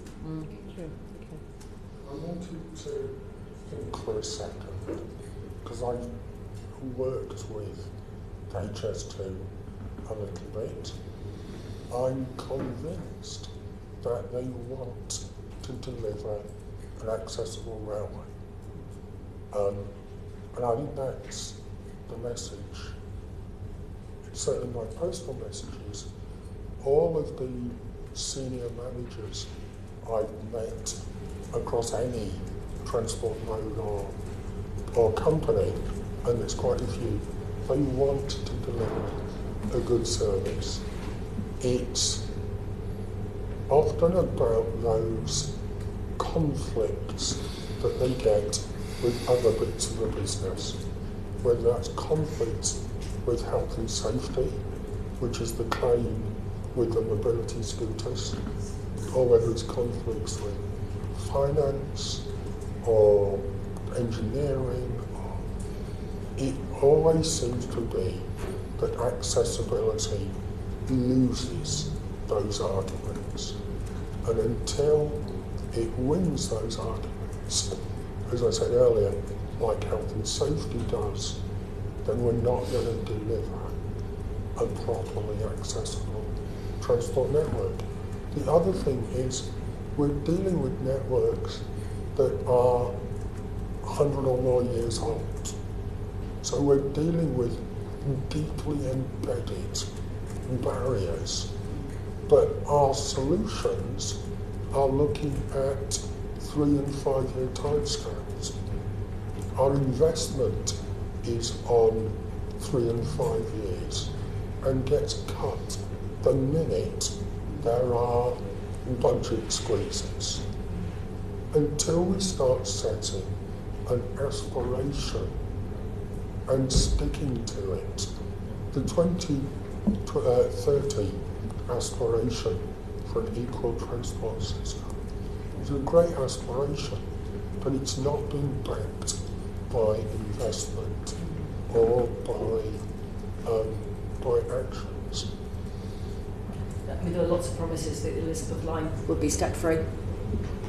And I'm afraid I don't count step free to platform as step free. I think we need to find a, another way of describing it because that doesn't allow independent travel because you're then reliant on, on a ramp. So, um, you know, that, that's really disappointing. Uh, and you're trying to, Alan's completely right, you're trying to overlay new engineering on an old network. Um, and I'll believe HS2 is accessible when I see it. because there'll be there'll be compromises Yeah. because there always are, and step free and level boarding is the one that uh, gets gets cut every time. Perhaps in those circumstances the term can be changed to incomplete step-free access so that, it, that, it, that it's clear that it's not total. That's the, what came to mind straight away. Still got a good number of questions we want to uh, get through, so uh, if you forgive me, I'm going to move on. Uh, can turn now to Greg Smith, please. Uh, thank you, Chairman. Good morning. I'm Greg Smith, the MP for Buckingham. Can I return to the issue of streetscape and the barriers that, that come? Many of you have already spoken eloquently and powerfully about the impact of uh, pavement parking, uh, par- cars on the curbs, uh, e-scooters, or I I quite liked the term uh, e-fly tipping that was used earlier. So, apart from those very practical examples where technological innovation has brought new challenges, etc., can I ask for your viewpoint on how planners, uh, local authorities, town councils, district councils, unitary councils, etc., actually see or understand the streetscape as an issue to be considered from transport planning. Uh, and perhaps to give some flavour to that question, I could give the example of a walk I did with the Guide Dogs charity in Princes Risborough earlier this year, where there was a there is a raised platform across the road between two platforms, between two two um, pavements, uh, which is the same material as the pavement. Now that, in many ways, for someone in a wheelchair, is rather convenient, and you know you don't have to drop down the curb, and you can get straight across from one pavement to another. For someone blind or partially sighted, there's no distinction between the pavement and that which has moving traffic on it, and people walk straight out into the road. How can we get trans, uh, uh, local authorities, planning authorities, and you know, smaller authorities like town councils to properly understand and consider when they're putting in well-intentioned streetscape changes to actually consider the needs of uh, people with, with varying disabilities. I mean, there are standards for that already. But you're absolutely right, the standards are not all, uh, always followed. We had exactly this installation you just described in our street. My partner is blind, and I shoot out of the house when I saw what they were doing, and I talked to the builders myself and said, Hello, there are a lot of blind people in this area. You know that this needs tactile paving. We can't just have that flat, and I'm a wheelchair user. So um, there are standards. There actually the UK is quite good when it comes to tactiles on the roads and at curbs and so on. But the the uh, um, uh, the local authorities have to follow the standards. Anything else, again, and it becomes a health and safety issue. If a, if a blind person doesn't know if, if he or she is on the pavement or on the road, um, it is really the responsibility of the local authorities to deliver accessibility, and that's a good example. But, uh, just to the question, do you think that local authorities do actually see streetscape as a transport issue, or do they predominantly see it as a beauty issue or a convenience issue, or uh, what, what's your experience around the country? Bearing in mind there are a lot of different local authorities and planning authorities. Tot- totally different. I mean, already in London, you, gave, you go from one borough to, to another one, go to Soho, and the world is totally different than in Greenwich. Um, I don't think there's a yes and no answer, it's this way or that way. Um, it, it's a bit of a postcode lottery, you're totally right. And the postcode is changing virtually at every single street. So, um, again, enforcement, standardization uh, is the issue here. Thank you. Tanni? Um, Soho I have to push on the road because there are a few drop curbs. Yeah. Um, and I, I can jump a four inch curb in my chair, but they're, they're too big, a, a lot of them. So, no, I don't think it's considered as a transport issue. I think there's been a big impact um, with COVID legislation or post COVID legislation in terms of um, opening up streets and pavement cafes. And certainly as we were coming out of lockdown, that was a massive issue for uh, disabled people and, and visually impaired people. Um, I think if you look at things like drop curbs, tactile paving, Uh, I'll, I'll send the committee a photo, some tactile paving that's recently been put in uh, close to London Bridge that leads a vision impaired person into a wall.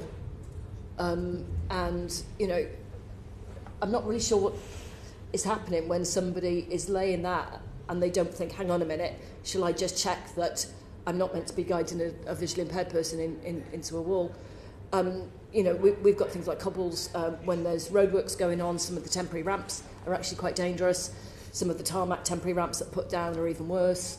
So I don't, yeah, you kind of end up just sort of accepting it because uh, if I haven't got the energy to complain about Mr. Sist, I haven't got the energy necessarily to complain about that, although I do try to because it's going to impact lots and, and lots of other people. So I don't think that is is considered by most places around the country, to be honest. And it's it's not it's not deliberate. They're not trying to make our lives more difficult.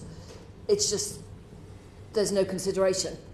It just is never on anyone's priority list to think, oh, hang on a minute, how can I how, how can I make this a bit better? Thank you, Stephen. I now know to avoid London Bridge on my way home. Thank you for that. um, but yes, I, I, should say as a register of interest, I do work for a local, local authority. But what, what, what I would say is that I think often when it comes to this sort of thing, if a disability related question comes up, it's often sort of, oh, yes, thank you for that, we'll take it into account. And then you fi- read the final report six months later and you think, you really didn't take that into account at all, did you? So, ideally, and I know this probably isn't going to happen, but what I'd love is a veto to be able to say you have to consult disabled people and disabled people have to be happy enough with it. I, I, I appreciate that it can't always be a utopia, but to be able to say, yeah, blind and partially sighted people don't think this is dangerous, disabled uh, wheelchair users don't think that this is going to cause an insurmountable, insurmountable obstacle.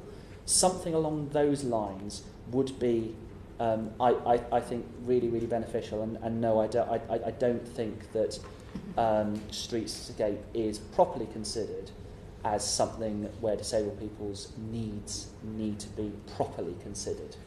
Thank you, and Alan. I think it depends on where you are. Certainly Transport for All have done some work with some local authorities who do consider it as a key part of that decision-making process. I think there are and it's something we've already touched on in other uh, modes, there are rules, regulations, specifications that exist, but they are either not understood or why they're there isn't understood. So people will design tactile paving in, and it meets the standards, but they haven't understood why it's there, so it comes up into a brick wall. Yeah. There, I think there's also an issue that different impairments have different and sometimes conflicting requirements. So for Stephen, tactile paving is essential. For me, tactile paving is incredibly uncomfortable. So those are easy questions to answer. So it's easier for those decision makers to not make decisions. There are some really good examples of good practice. So uh, City of London have produced a streetscape tool where you can analyse the impact of different streetscape features and how that affects different impairments, producing a score. So there are processes that are being developed to measure success. And I think part of the issue is we can't measure what look what good looks like in so many situations. So there's a a possible opportunity there um, for improving accessibility through measuring good. Thank you very much. Thank you. Uh, if we could now turn to Ben Bradshaw, please. The picture you all paint is of transport operators routinely breaking the law with impunity. How are they getting away with it? Who, why isn't anyone prosecuting them? What are the regulators doing? It's enforcement. That's a good question to ask the regulators. Okay. And which, which regulators in particular should we have our eyes on? Well, I'm CAA. Right? Does the EU Equality and Human Rights Commission have a role in this? Um, And would, couldn't they? I mean, surely a disability comes under their. They did a very good inquiry into anti-Semitism in my party, sorted it out, said we've broken the law. Why can't they do something into disability transport? I mean, I, I mean, it's a nice idea. I'd kind of quite like it if DFT took a bit more responsibility. Right? Um, personally, I'm not sure it should be to the EHRC to, uh, to, to stand up for rights of disabled people. So um, they, they get away with it because they know they can.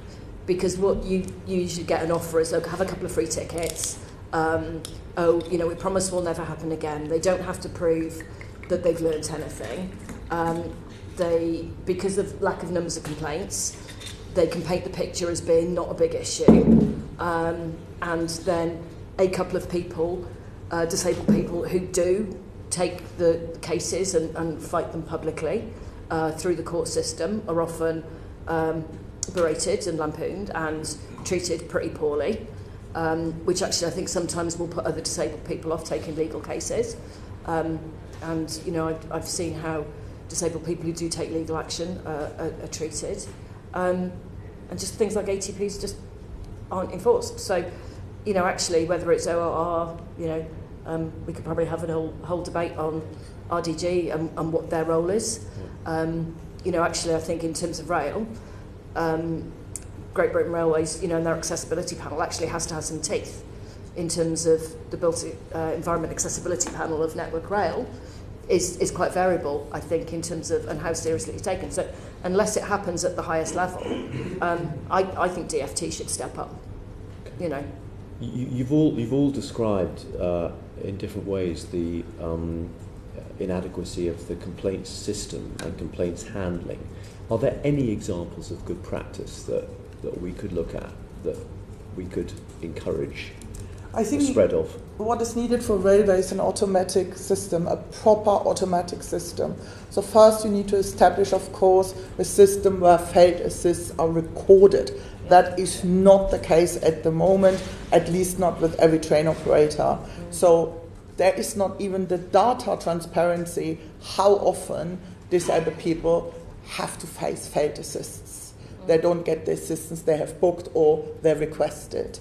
So if you have that, if the data is there, why don't you compensate the passengers automatically? Because you know when it happened and to whom. So that is what's needed. To rely on disabled people, um, especially people with learning difficulties, to fill in a form and say, hello, I got discriminated, or the assistance didn't work, and describe in length what has actually happened sorry, that, that is not realistic. And that is also the reason why there's a lack of data. Because again, the burden is with disabled passengers. If we don't complain, it's not logged anywhere. And even if we do, the last overcarry I had was not even recorded in any railway system. I asked my colleagues, can you please look in the, in, in the log files what they've recorded on this incident? That was an overcarry at Southeastern going, I, I went to Kent. That's not where I wanted to go. That's where I ended up. Um, uh, uh, um, and I asked a colleague to look into the system. They hadn't even recorded it. So where should the data come from? I have to complain. Otherwise, it is not noticed, and, and then you still don't have the guarantee that the regulator is aware of it. In aviation, by the way, it's better. If, uh, if you miss your flight or your connection because assistance didn't show up, the airport has the legal obligation to inform the regulator. You need the same in railway. Are there any kind of institutional initiatives or that other countries have? I don't know, an independent disability rights commissioner with statutory powers to enforce the law and take up cases that that, that, that, that provide good models, would provide a good model for the UK, do you know? No, I think some of the policies, I was at a meeting recently where, again, in terms of rail, they're talking about having a booking system where you can drop from 48 hours to 24 hours. So there's some bits that, and I had an example recently where I was at Char- uh, Gare du Nord, mm. and I was uh, on a train to Schiphol. Um, eventually, at Gare du Nord, they enabled me to get on the train, and then at Schiphol, they refused to get me off. And because I hadn't booked. Um, and so that was even worse. So, uh, uh, and eventually, I basically said, look, you know, I'm, I'm just going to go to Amsterdam Central and come back in 20 minutes. So you either get me off now or you get me off later. So my experience um, in, in other countries in terms of rail travel is not as great. In terms of airline travel, um, I've rarely had a problem uh, flying around the USA and Canada. Um, but uh, they, they have a different attitude towards disability and you're not treated uh, as an oddity because you want to get on a plane. So um, that, that is, is better. Austria has a very good system in general when it comes to discrimination, where you basically have um, kind of a, it's not a court, but you negotiate with the discriminator at, um, in, this, in this case, it's, it's a, national, federal department and they get an official letter and get asked to come in, and then you negotiate. You can explain your case and so on. And that is something the UK I would highly, highly recommend. I took action in Austria myself. I'm not even Austrian, um, uh, but it was so easy and well organized. It was impressive, and it has an impact. A company that have to come to, to a department and have to explain to a civil servant what they actually have done that would have an impact. And that was a commissioner within the department, the transport department, was it? Um, had that, that power? In that case, it is based in the, that is not just for transport. That's for any discrimination you have in, in Austria. Mm. So this is then based at the Department for Works and Pension. I think that would be the mm. equivalent in the UK. Mm.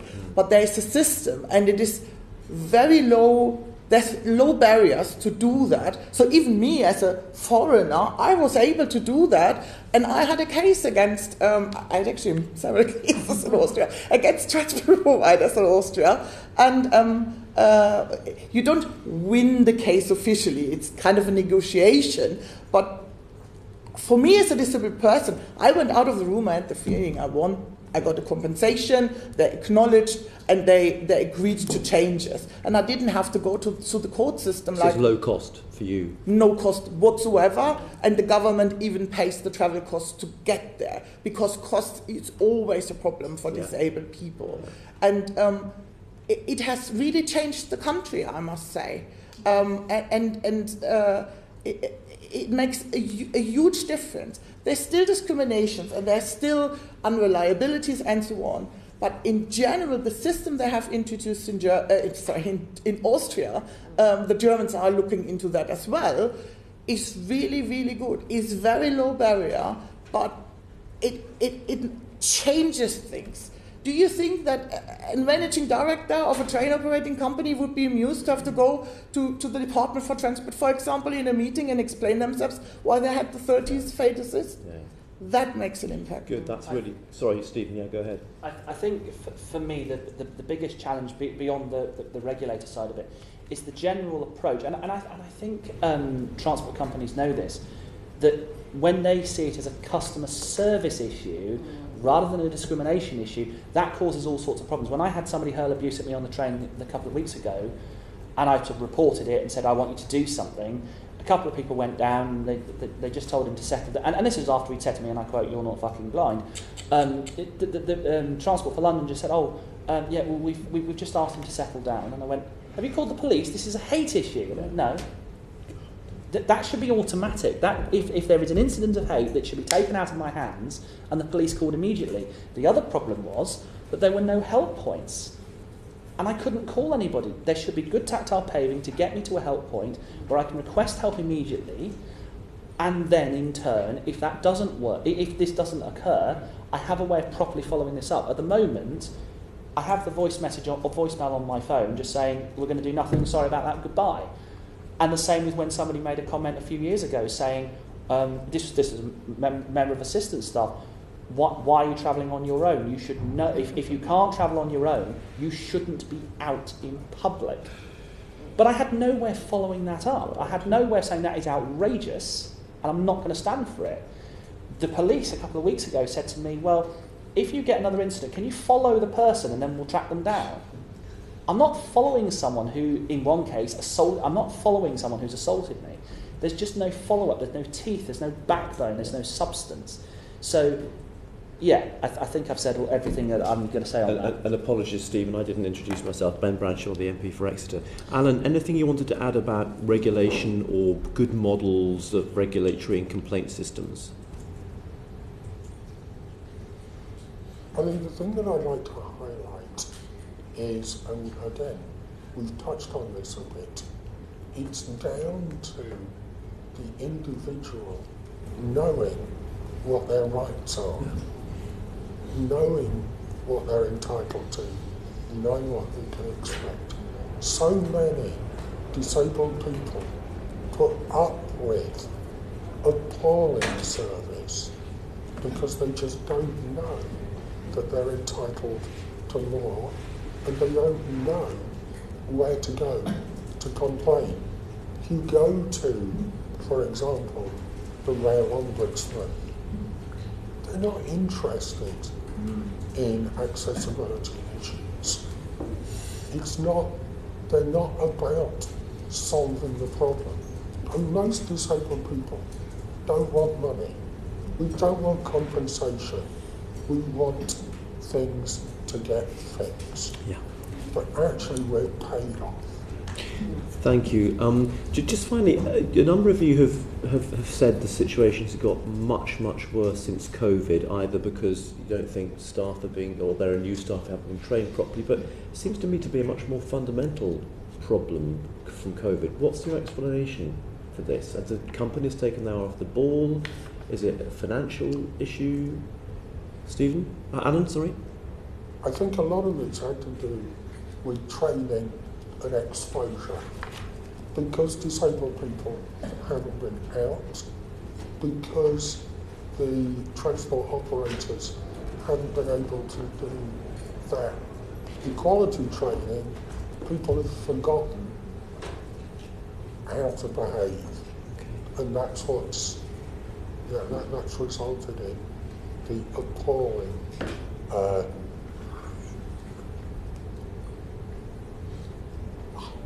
just things getting worse.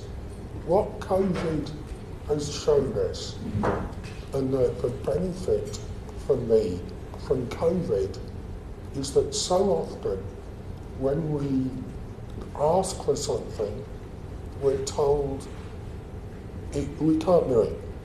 Costs too much. It's against the rules. Um, it's against the regulations. COVID taught us but where there's a will, there's a way. Not only to change, but to change really, really quickly.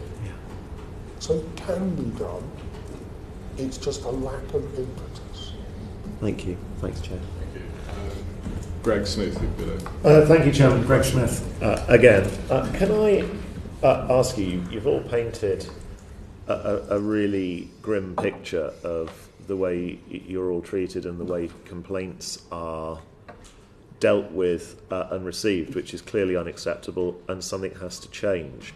In the written evidence that we've received as a committee, we have seen evidence that suggests that on top of the appalling scenarios you have all described to us this morning, uh, people with um, uh, less visible uh, disabilities, neurodivergence, etc., are taken even less seriously when it comes to complaints. Um, in your experience, do, do you all uh, have that same view? Uh, and do you think that, that there are certain other avenues beyond that which we've already discussed this morning that transport operators, local authorities, public services, and private services alike need to be considering when it comes to hidden disabilities? Christiane? I think the culture of an organization cu- cus- uh, is all right, is customer centric, customer focused, it doesn't even matter if the impairment is visible or not. It is a very artificial way to uh, look at disability. It's in fact how non disabled people see us.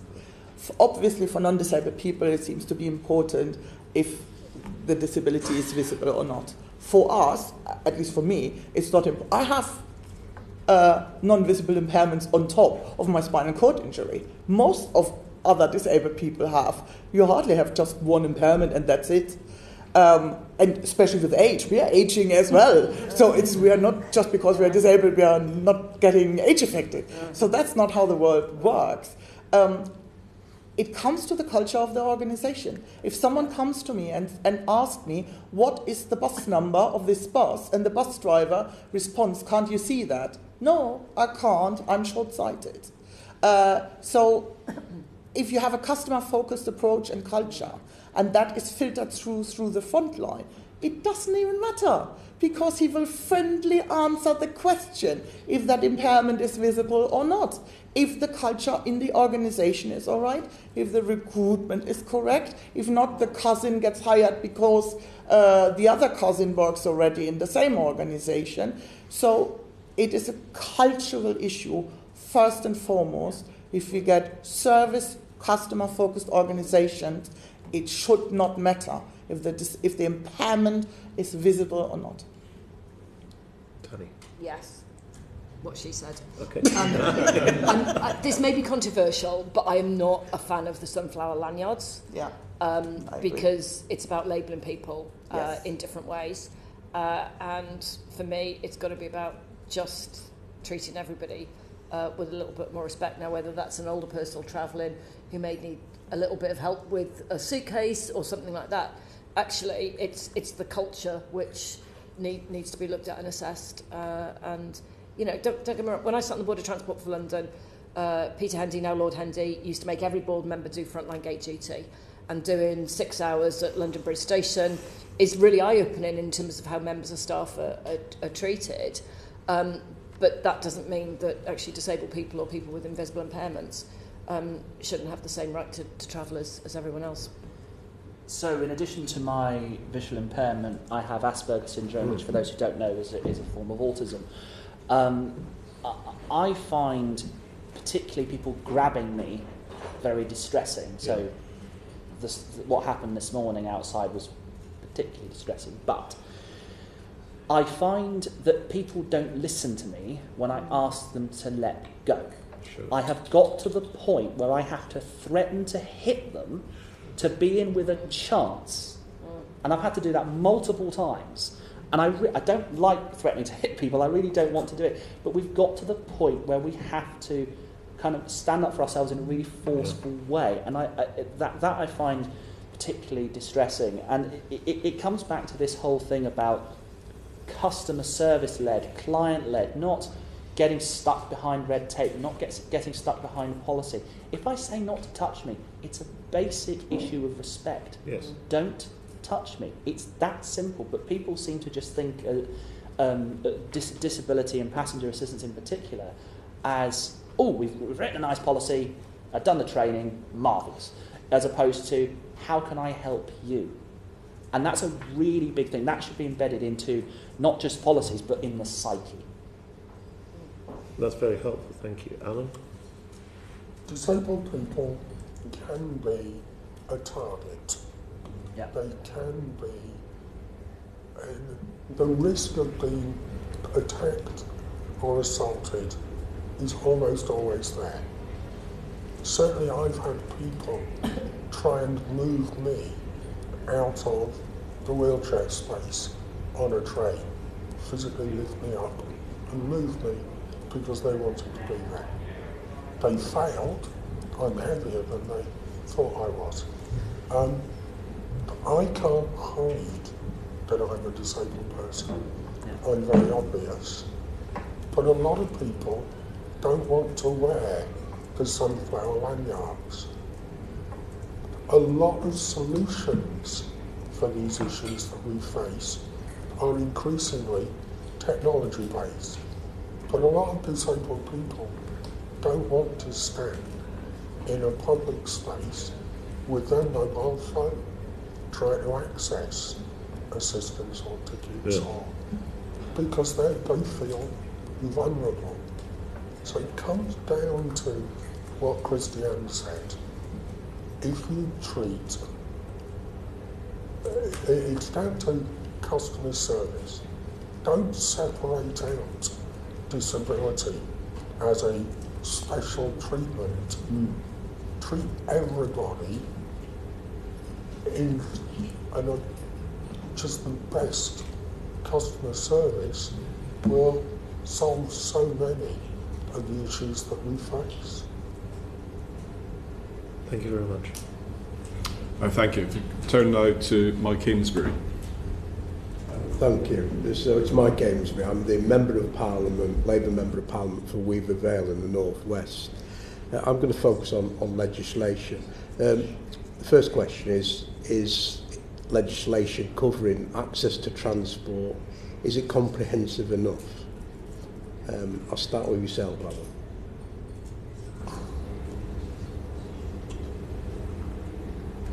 I've got a knowledge of the bits of the legislation that I've come up against.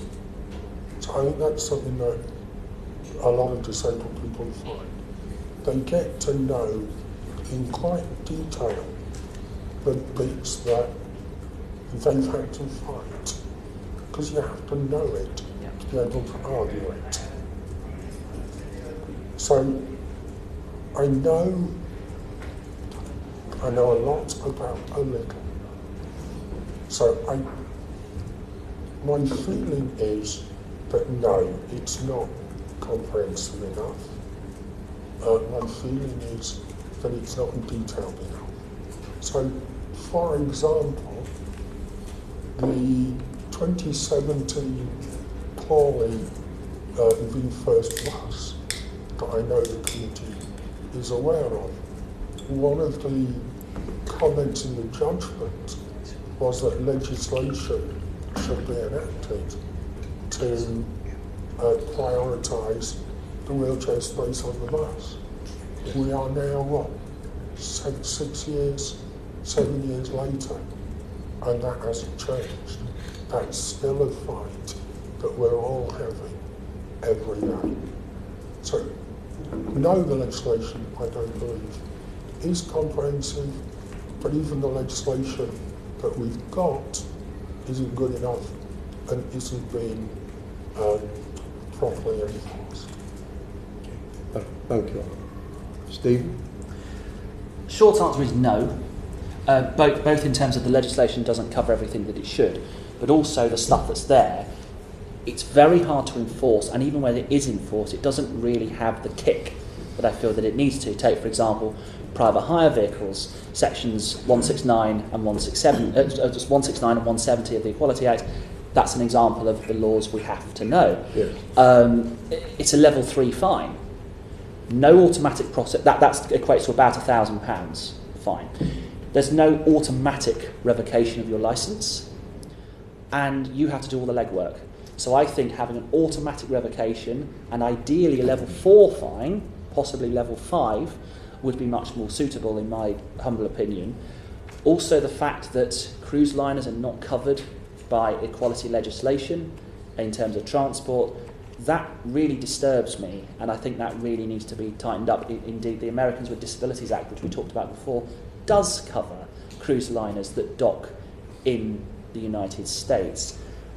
Um, also, I think having mandatory help points that are manned somewhere, not at a call centre uh, at the other end of the country, which will be picked up in five minutes, that would be helpful, not just when there are assistance fails, and I understand that they may go wrong from time to time, but also when there are instances of abuse that need to be dealt with immediately. I think those three things would help me as a, as a disabled person, provided they are enforced properly, to feel much more confident and get rid of what, what um, Gavin Neate has referred to as arrival anxiety. Great, thank, thank you. Uh, Baroness Grey Thompson. Thank you. Uh, no. Um, so uh, the inclusive uh, transport strategy, regrettably, is just another strategy, uh, and disabled people are slightly bored by strategies. Um, so uh, it keeps seeming to be done to us all the time, and not much actually happens. So for me, I think the government needs to take equal access uh, seriously. Uh, we need action and investment. Uh, and if I stick with railways, you know, in terms of delivering an inclusive uh, system, it's got to be fit for purpose for future generations, and what we currently have just doesn't cover that. So we, we've got to stop allowing derogations. Um, you know, so the current legislation isn't effective. So look at rolling stock derogations. Uh, the class uh, 158s have a narrow entrance vestibule, which prevents mobility scooters using from accessing them. So it's not just ScotRail that bans mobility scooters. Um, it's Northern Trains as well. Um, so you know, it's that there needs to be a step-by-step plan. You know, to, to actually take action, not just keep kicking it into the long grass. So the short answer is no. What we have is, um, even if what we have was used properly, it's not enough, and, and ultimately, it's not enough. Okay, thank you, Christy. Um, I, I agree. No, um, I think the ATP guidance is a good uh, of the ORR is a good example that it can be done. The direction is already there, but it has to get enforced and it has to get a bit stricter and, and, and stronger. Um, I think we have to move away that um, disabled people have to take action to enforce the law. That is not a concept. Um, that is really the, the, the, the task of the government and no one else. It's not. I don't. I'm not the regulator. The regulator for railways, the ORR for aviation is the CAA. They have to be able to do that. And um, just one uh, good point about derogations. Derogations also happening when it comes to building stations and building uh, transport infrastructure. Um, I didn't even know the term before I joined Railway and was gobsmacked to hear that we have a brilliant standard that the DfT had set, a brilliant accessibility standards that then gets watered down in the project meetings. Mm. Oh no, don't worry about it, we go for derogation. Mm. I didn't even know what that was. So it, it was beyond my imagination that we have rules. Mm. They're really, they're good. I would even say the standard is quite good. But then Network Rail can go for derogation, and everyone in the room agrees to that. That was exactly the culture I meant before. We can't just water it down and think accessibility is a gold plated something that is optional. Stop the derogations in the building area um, as well, not just in the rolling stock, stop it in building as well. You build substandard stations otherwise. It's, it's a common theme, isn't it? Enforcement, lack of enforcement, and, and, and no teeth. Um, earlier on, um, um, one of our committee members referred to the Equalities and Human Rights Commission. What, what's your understanding of what their role should be and how effectively they're, they're delivering that? I'm, I'm going to start with you, Krista. to be honest, I, I, I don't have a real answer. I don't uh, perceive them as a strong uh, tool to enforce accessibility at the moment. I, I, don't see that they are doing that yet um, and that it has an impact. They're hardly discussed in the industry, mm. not in aviation, not in railway. Um, if I don't mention them in meetings, it never comes up. And the cases they had in transport, I think, correct me if I'm wrong, I'm not a, a, an expert in, in the Equality Human Rights Commission, are a couple of years old minimum. So, from my perspective, I, I don't think they play a huge role at the moment. Um, if they should be, I don't know. I, I still think that accessibility is a health and safety and, and rights issue uh, which should be enforced like any other uh, aviation and railway uh, regulation as well, and that's the role of the regulator and the DFT. Um, the DFT is also the buyer and the, the, the, the money giver, so to say, so they should have an own interest that they get the best value for money for the taxpayer. That's also a topic. Not sure if it's if that has much to do with the Equality Human Rights Commission. I think money talks here as well. Why are we building substandard stations? Hmm. Yes. I, I don't think I've ever heard the HRC used as much around transport as I have today, so it's really interesting. yes. it's, it's not um, an option I've ever really thought about, and I kind of work in, in this space. So to me, it's just a different form of derogation. If we kick it to EHRC to take cases, it is actually stopping the DFT from uh, stepping up to what I see is, is their responsibility. So, um, you know, my strong preference was DFT, you know, steps up and actually does what it, it, it should be doing. So I was one of those people that argued in the early 90s that we needed an Equality Act, that disability discrimination legislation and the DDA wasn't the best way to go forward because we'd always um, be a game of top trumps. The reality is that what we've seen with equality legislation is disabilities a forgotten part of that and gets a much lower profile uh, compared and, and sadly there is a game of top trumps with protected characteristics and disability is you know 20% of the population just doesn't get you know talked about it, it doesn't get talked about in education or in transport or in you know it, it just gets forgotten. So um, I, I don't think EHRC is personally is, is, is the right option. Um, DFT need to be the, the, the organisation the, the body that, that oversees this Stephen? So uh, a few years ago, I put out a tweet just going, I've had a discriminatory incident, I'm struggling to get anywhere. Does anybody have any contacts at the Equality and Human Rights Commission that they could recommend? And one person came back and said, don't bother, they've got absolutely no teeth, they won't listen to you, they're a complete waste of time. And I think that tells you everything you need to know. Okay, thank you. And finally, Alan. I read the EHRC submission to the committee Yeah. with interest. Um, I'm aware that their remit covers transport. I don't know anybody that's had a positive engagement with them on it. I note from their submission that I think they did a project over a couple of years that raised, and I might be wrong in this, you can look it up, but I think it was 30, 35 cases. Stephen, remind us, how many legal cases have you personally taken? Um, so I've successfully prosecuted 20 um, private hire drivers. There are currently 23 waiting to be heard. Um, and I have settled with five or six other people in the transport sector. So arguably, Stephen's impact is greater than the EHRC. Yes. And, and, that, and that's to actually. and that's- take that. You're welcome. Yes. So your fundamental fundamental right to, as a person, as a customer, to go from A to B to access transport, and yet the Human Rights Commission just don't seem to. It, it's it's not on the barometer. That's not a route that I would pursue. Right. Okay. Thank you very much, everybody. Uh, if we could turn back now to Graham Morris. Uh, thanks, Chair. Uh, Graham Morris uh, f- from Easington. And you've covered some of the ground in the question I was going to ask, but I just want to explore it a, a, a little more.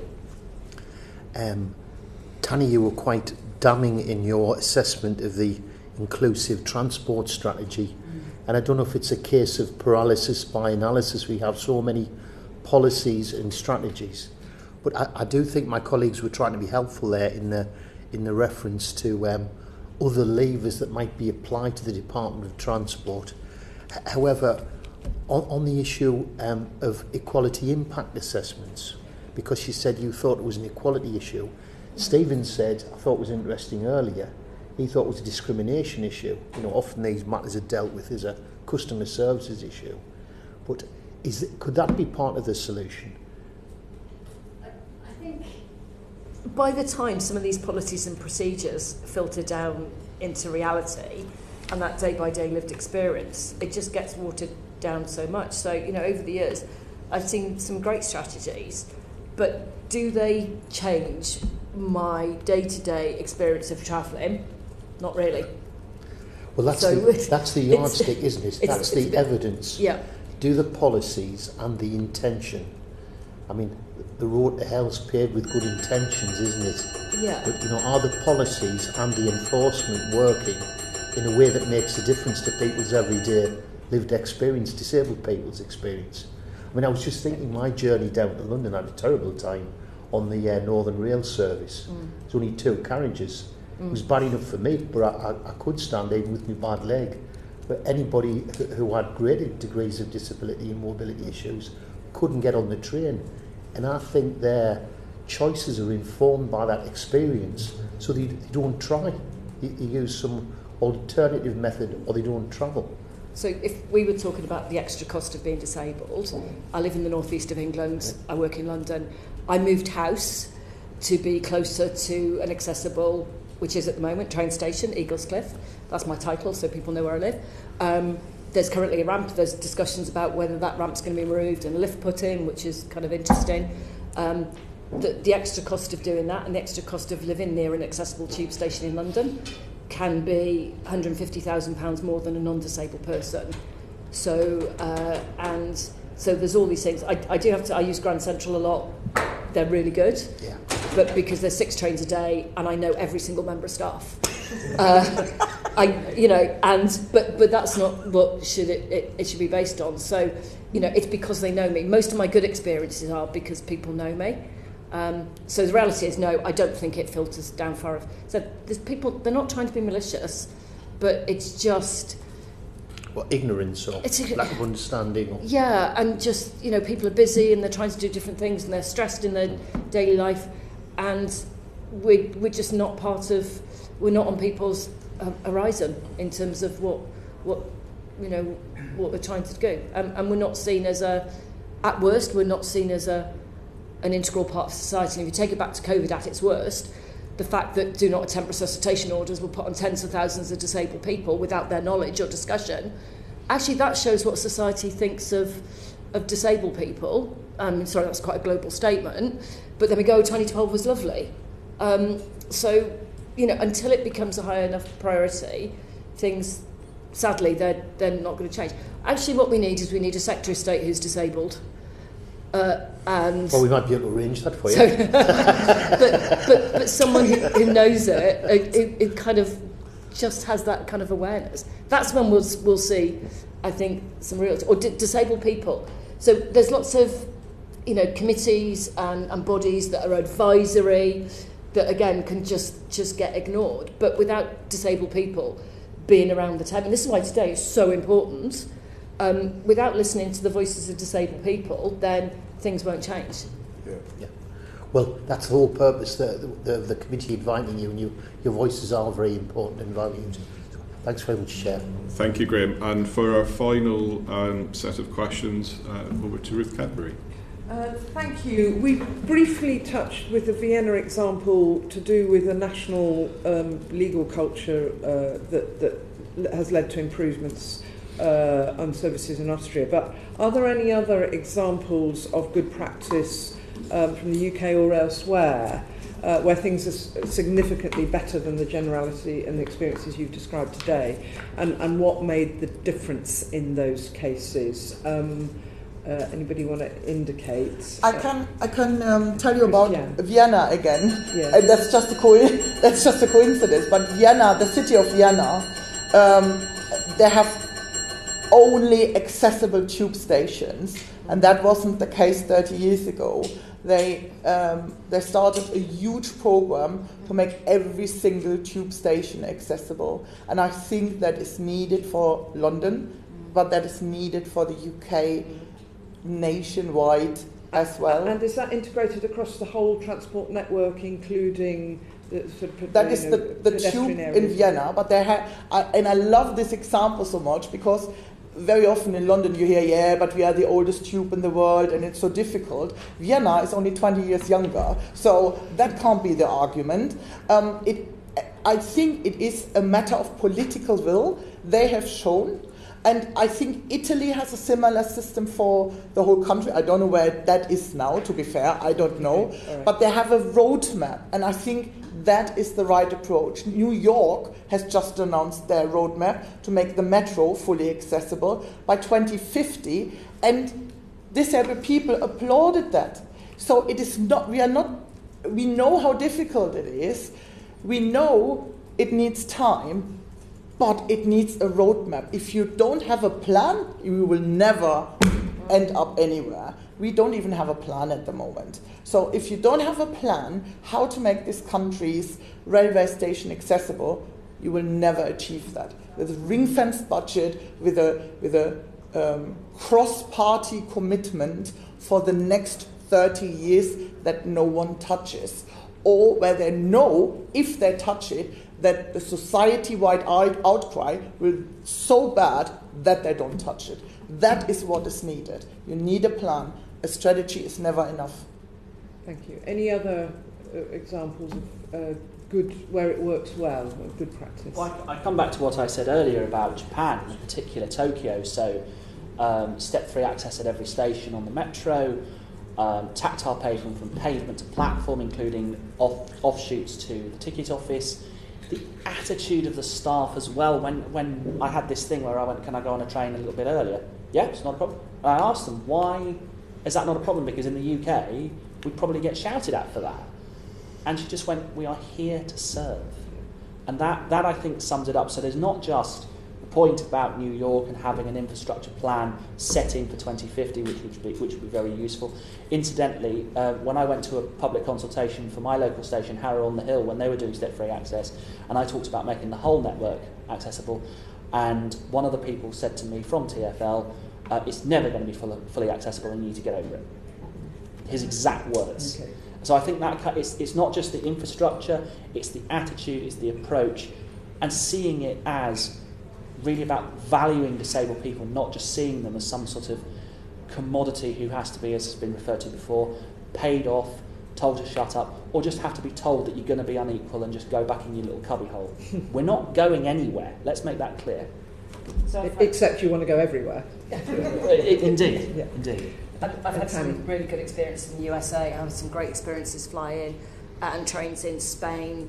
Um, I think we need to be looking at the Netherlands uh, because they've got some really bold plans to ensure that its entire railway network, that's I mean 410 stations, is going to be fully independently accessible to everyone by 2030. So, yeah, that, that's a really important place Political to will, look. isn't it? You can do A- anything you anything want to add, Alan? I think there are, it's not just about big ticket items. It's not just about lifts and stationary builds.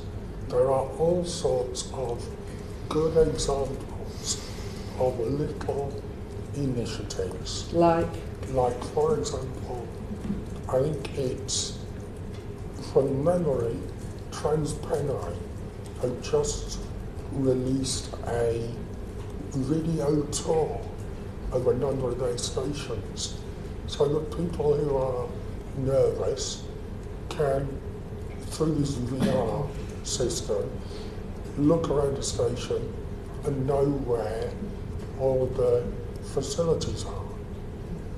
It's the, the issue is people aren't good at sharing those ideas and they're not good at critically analysing their own efforts.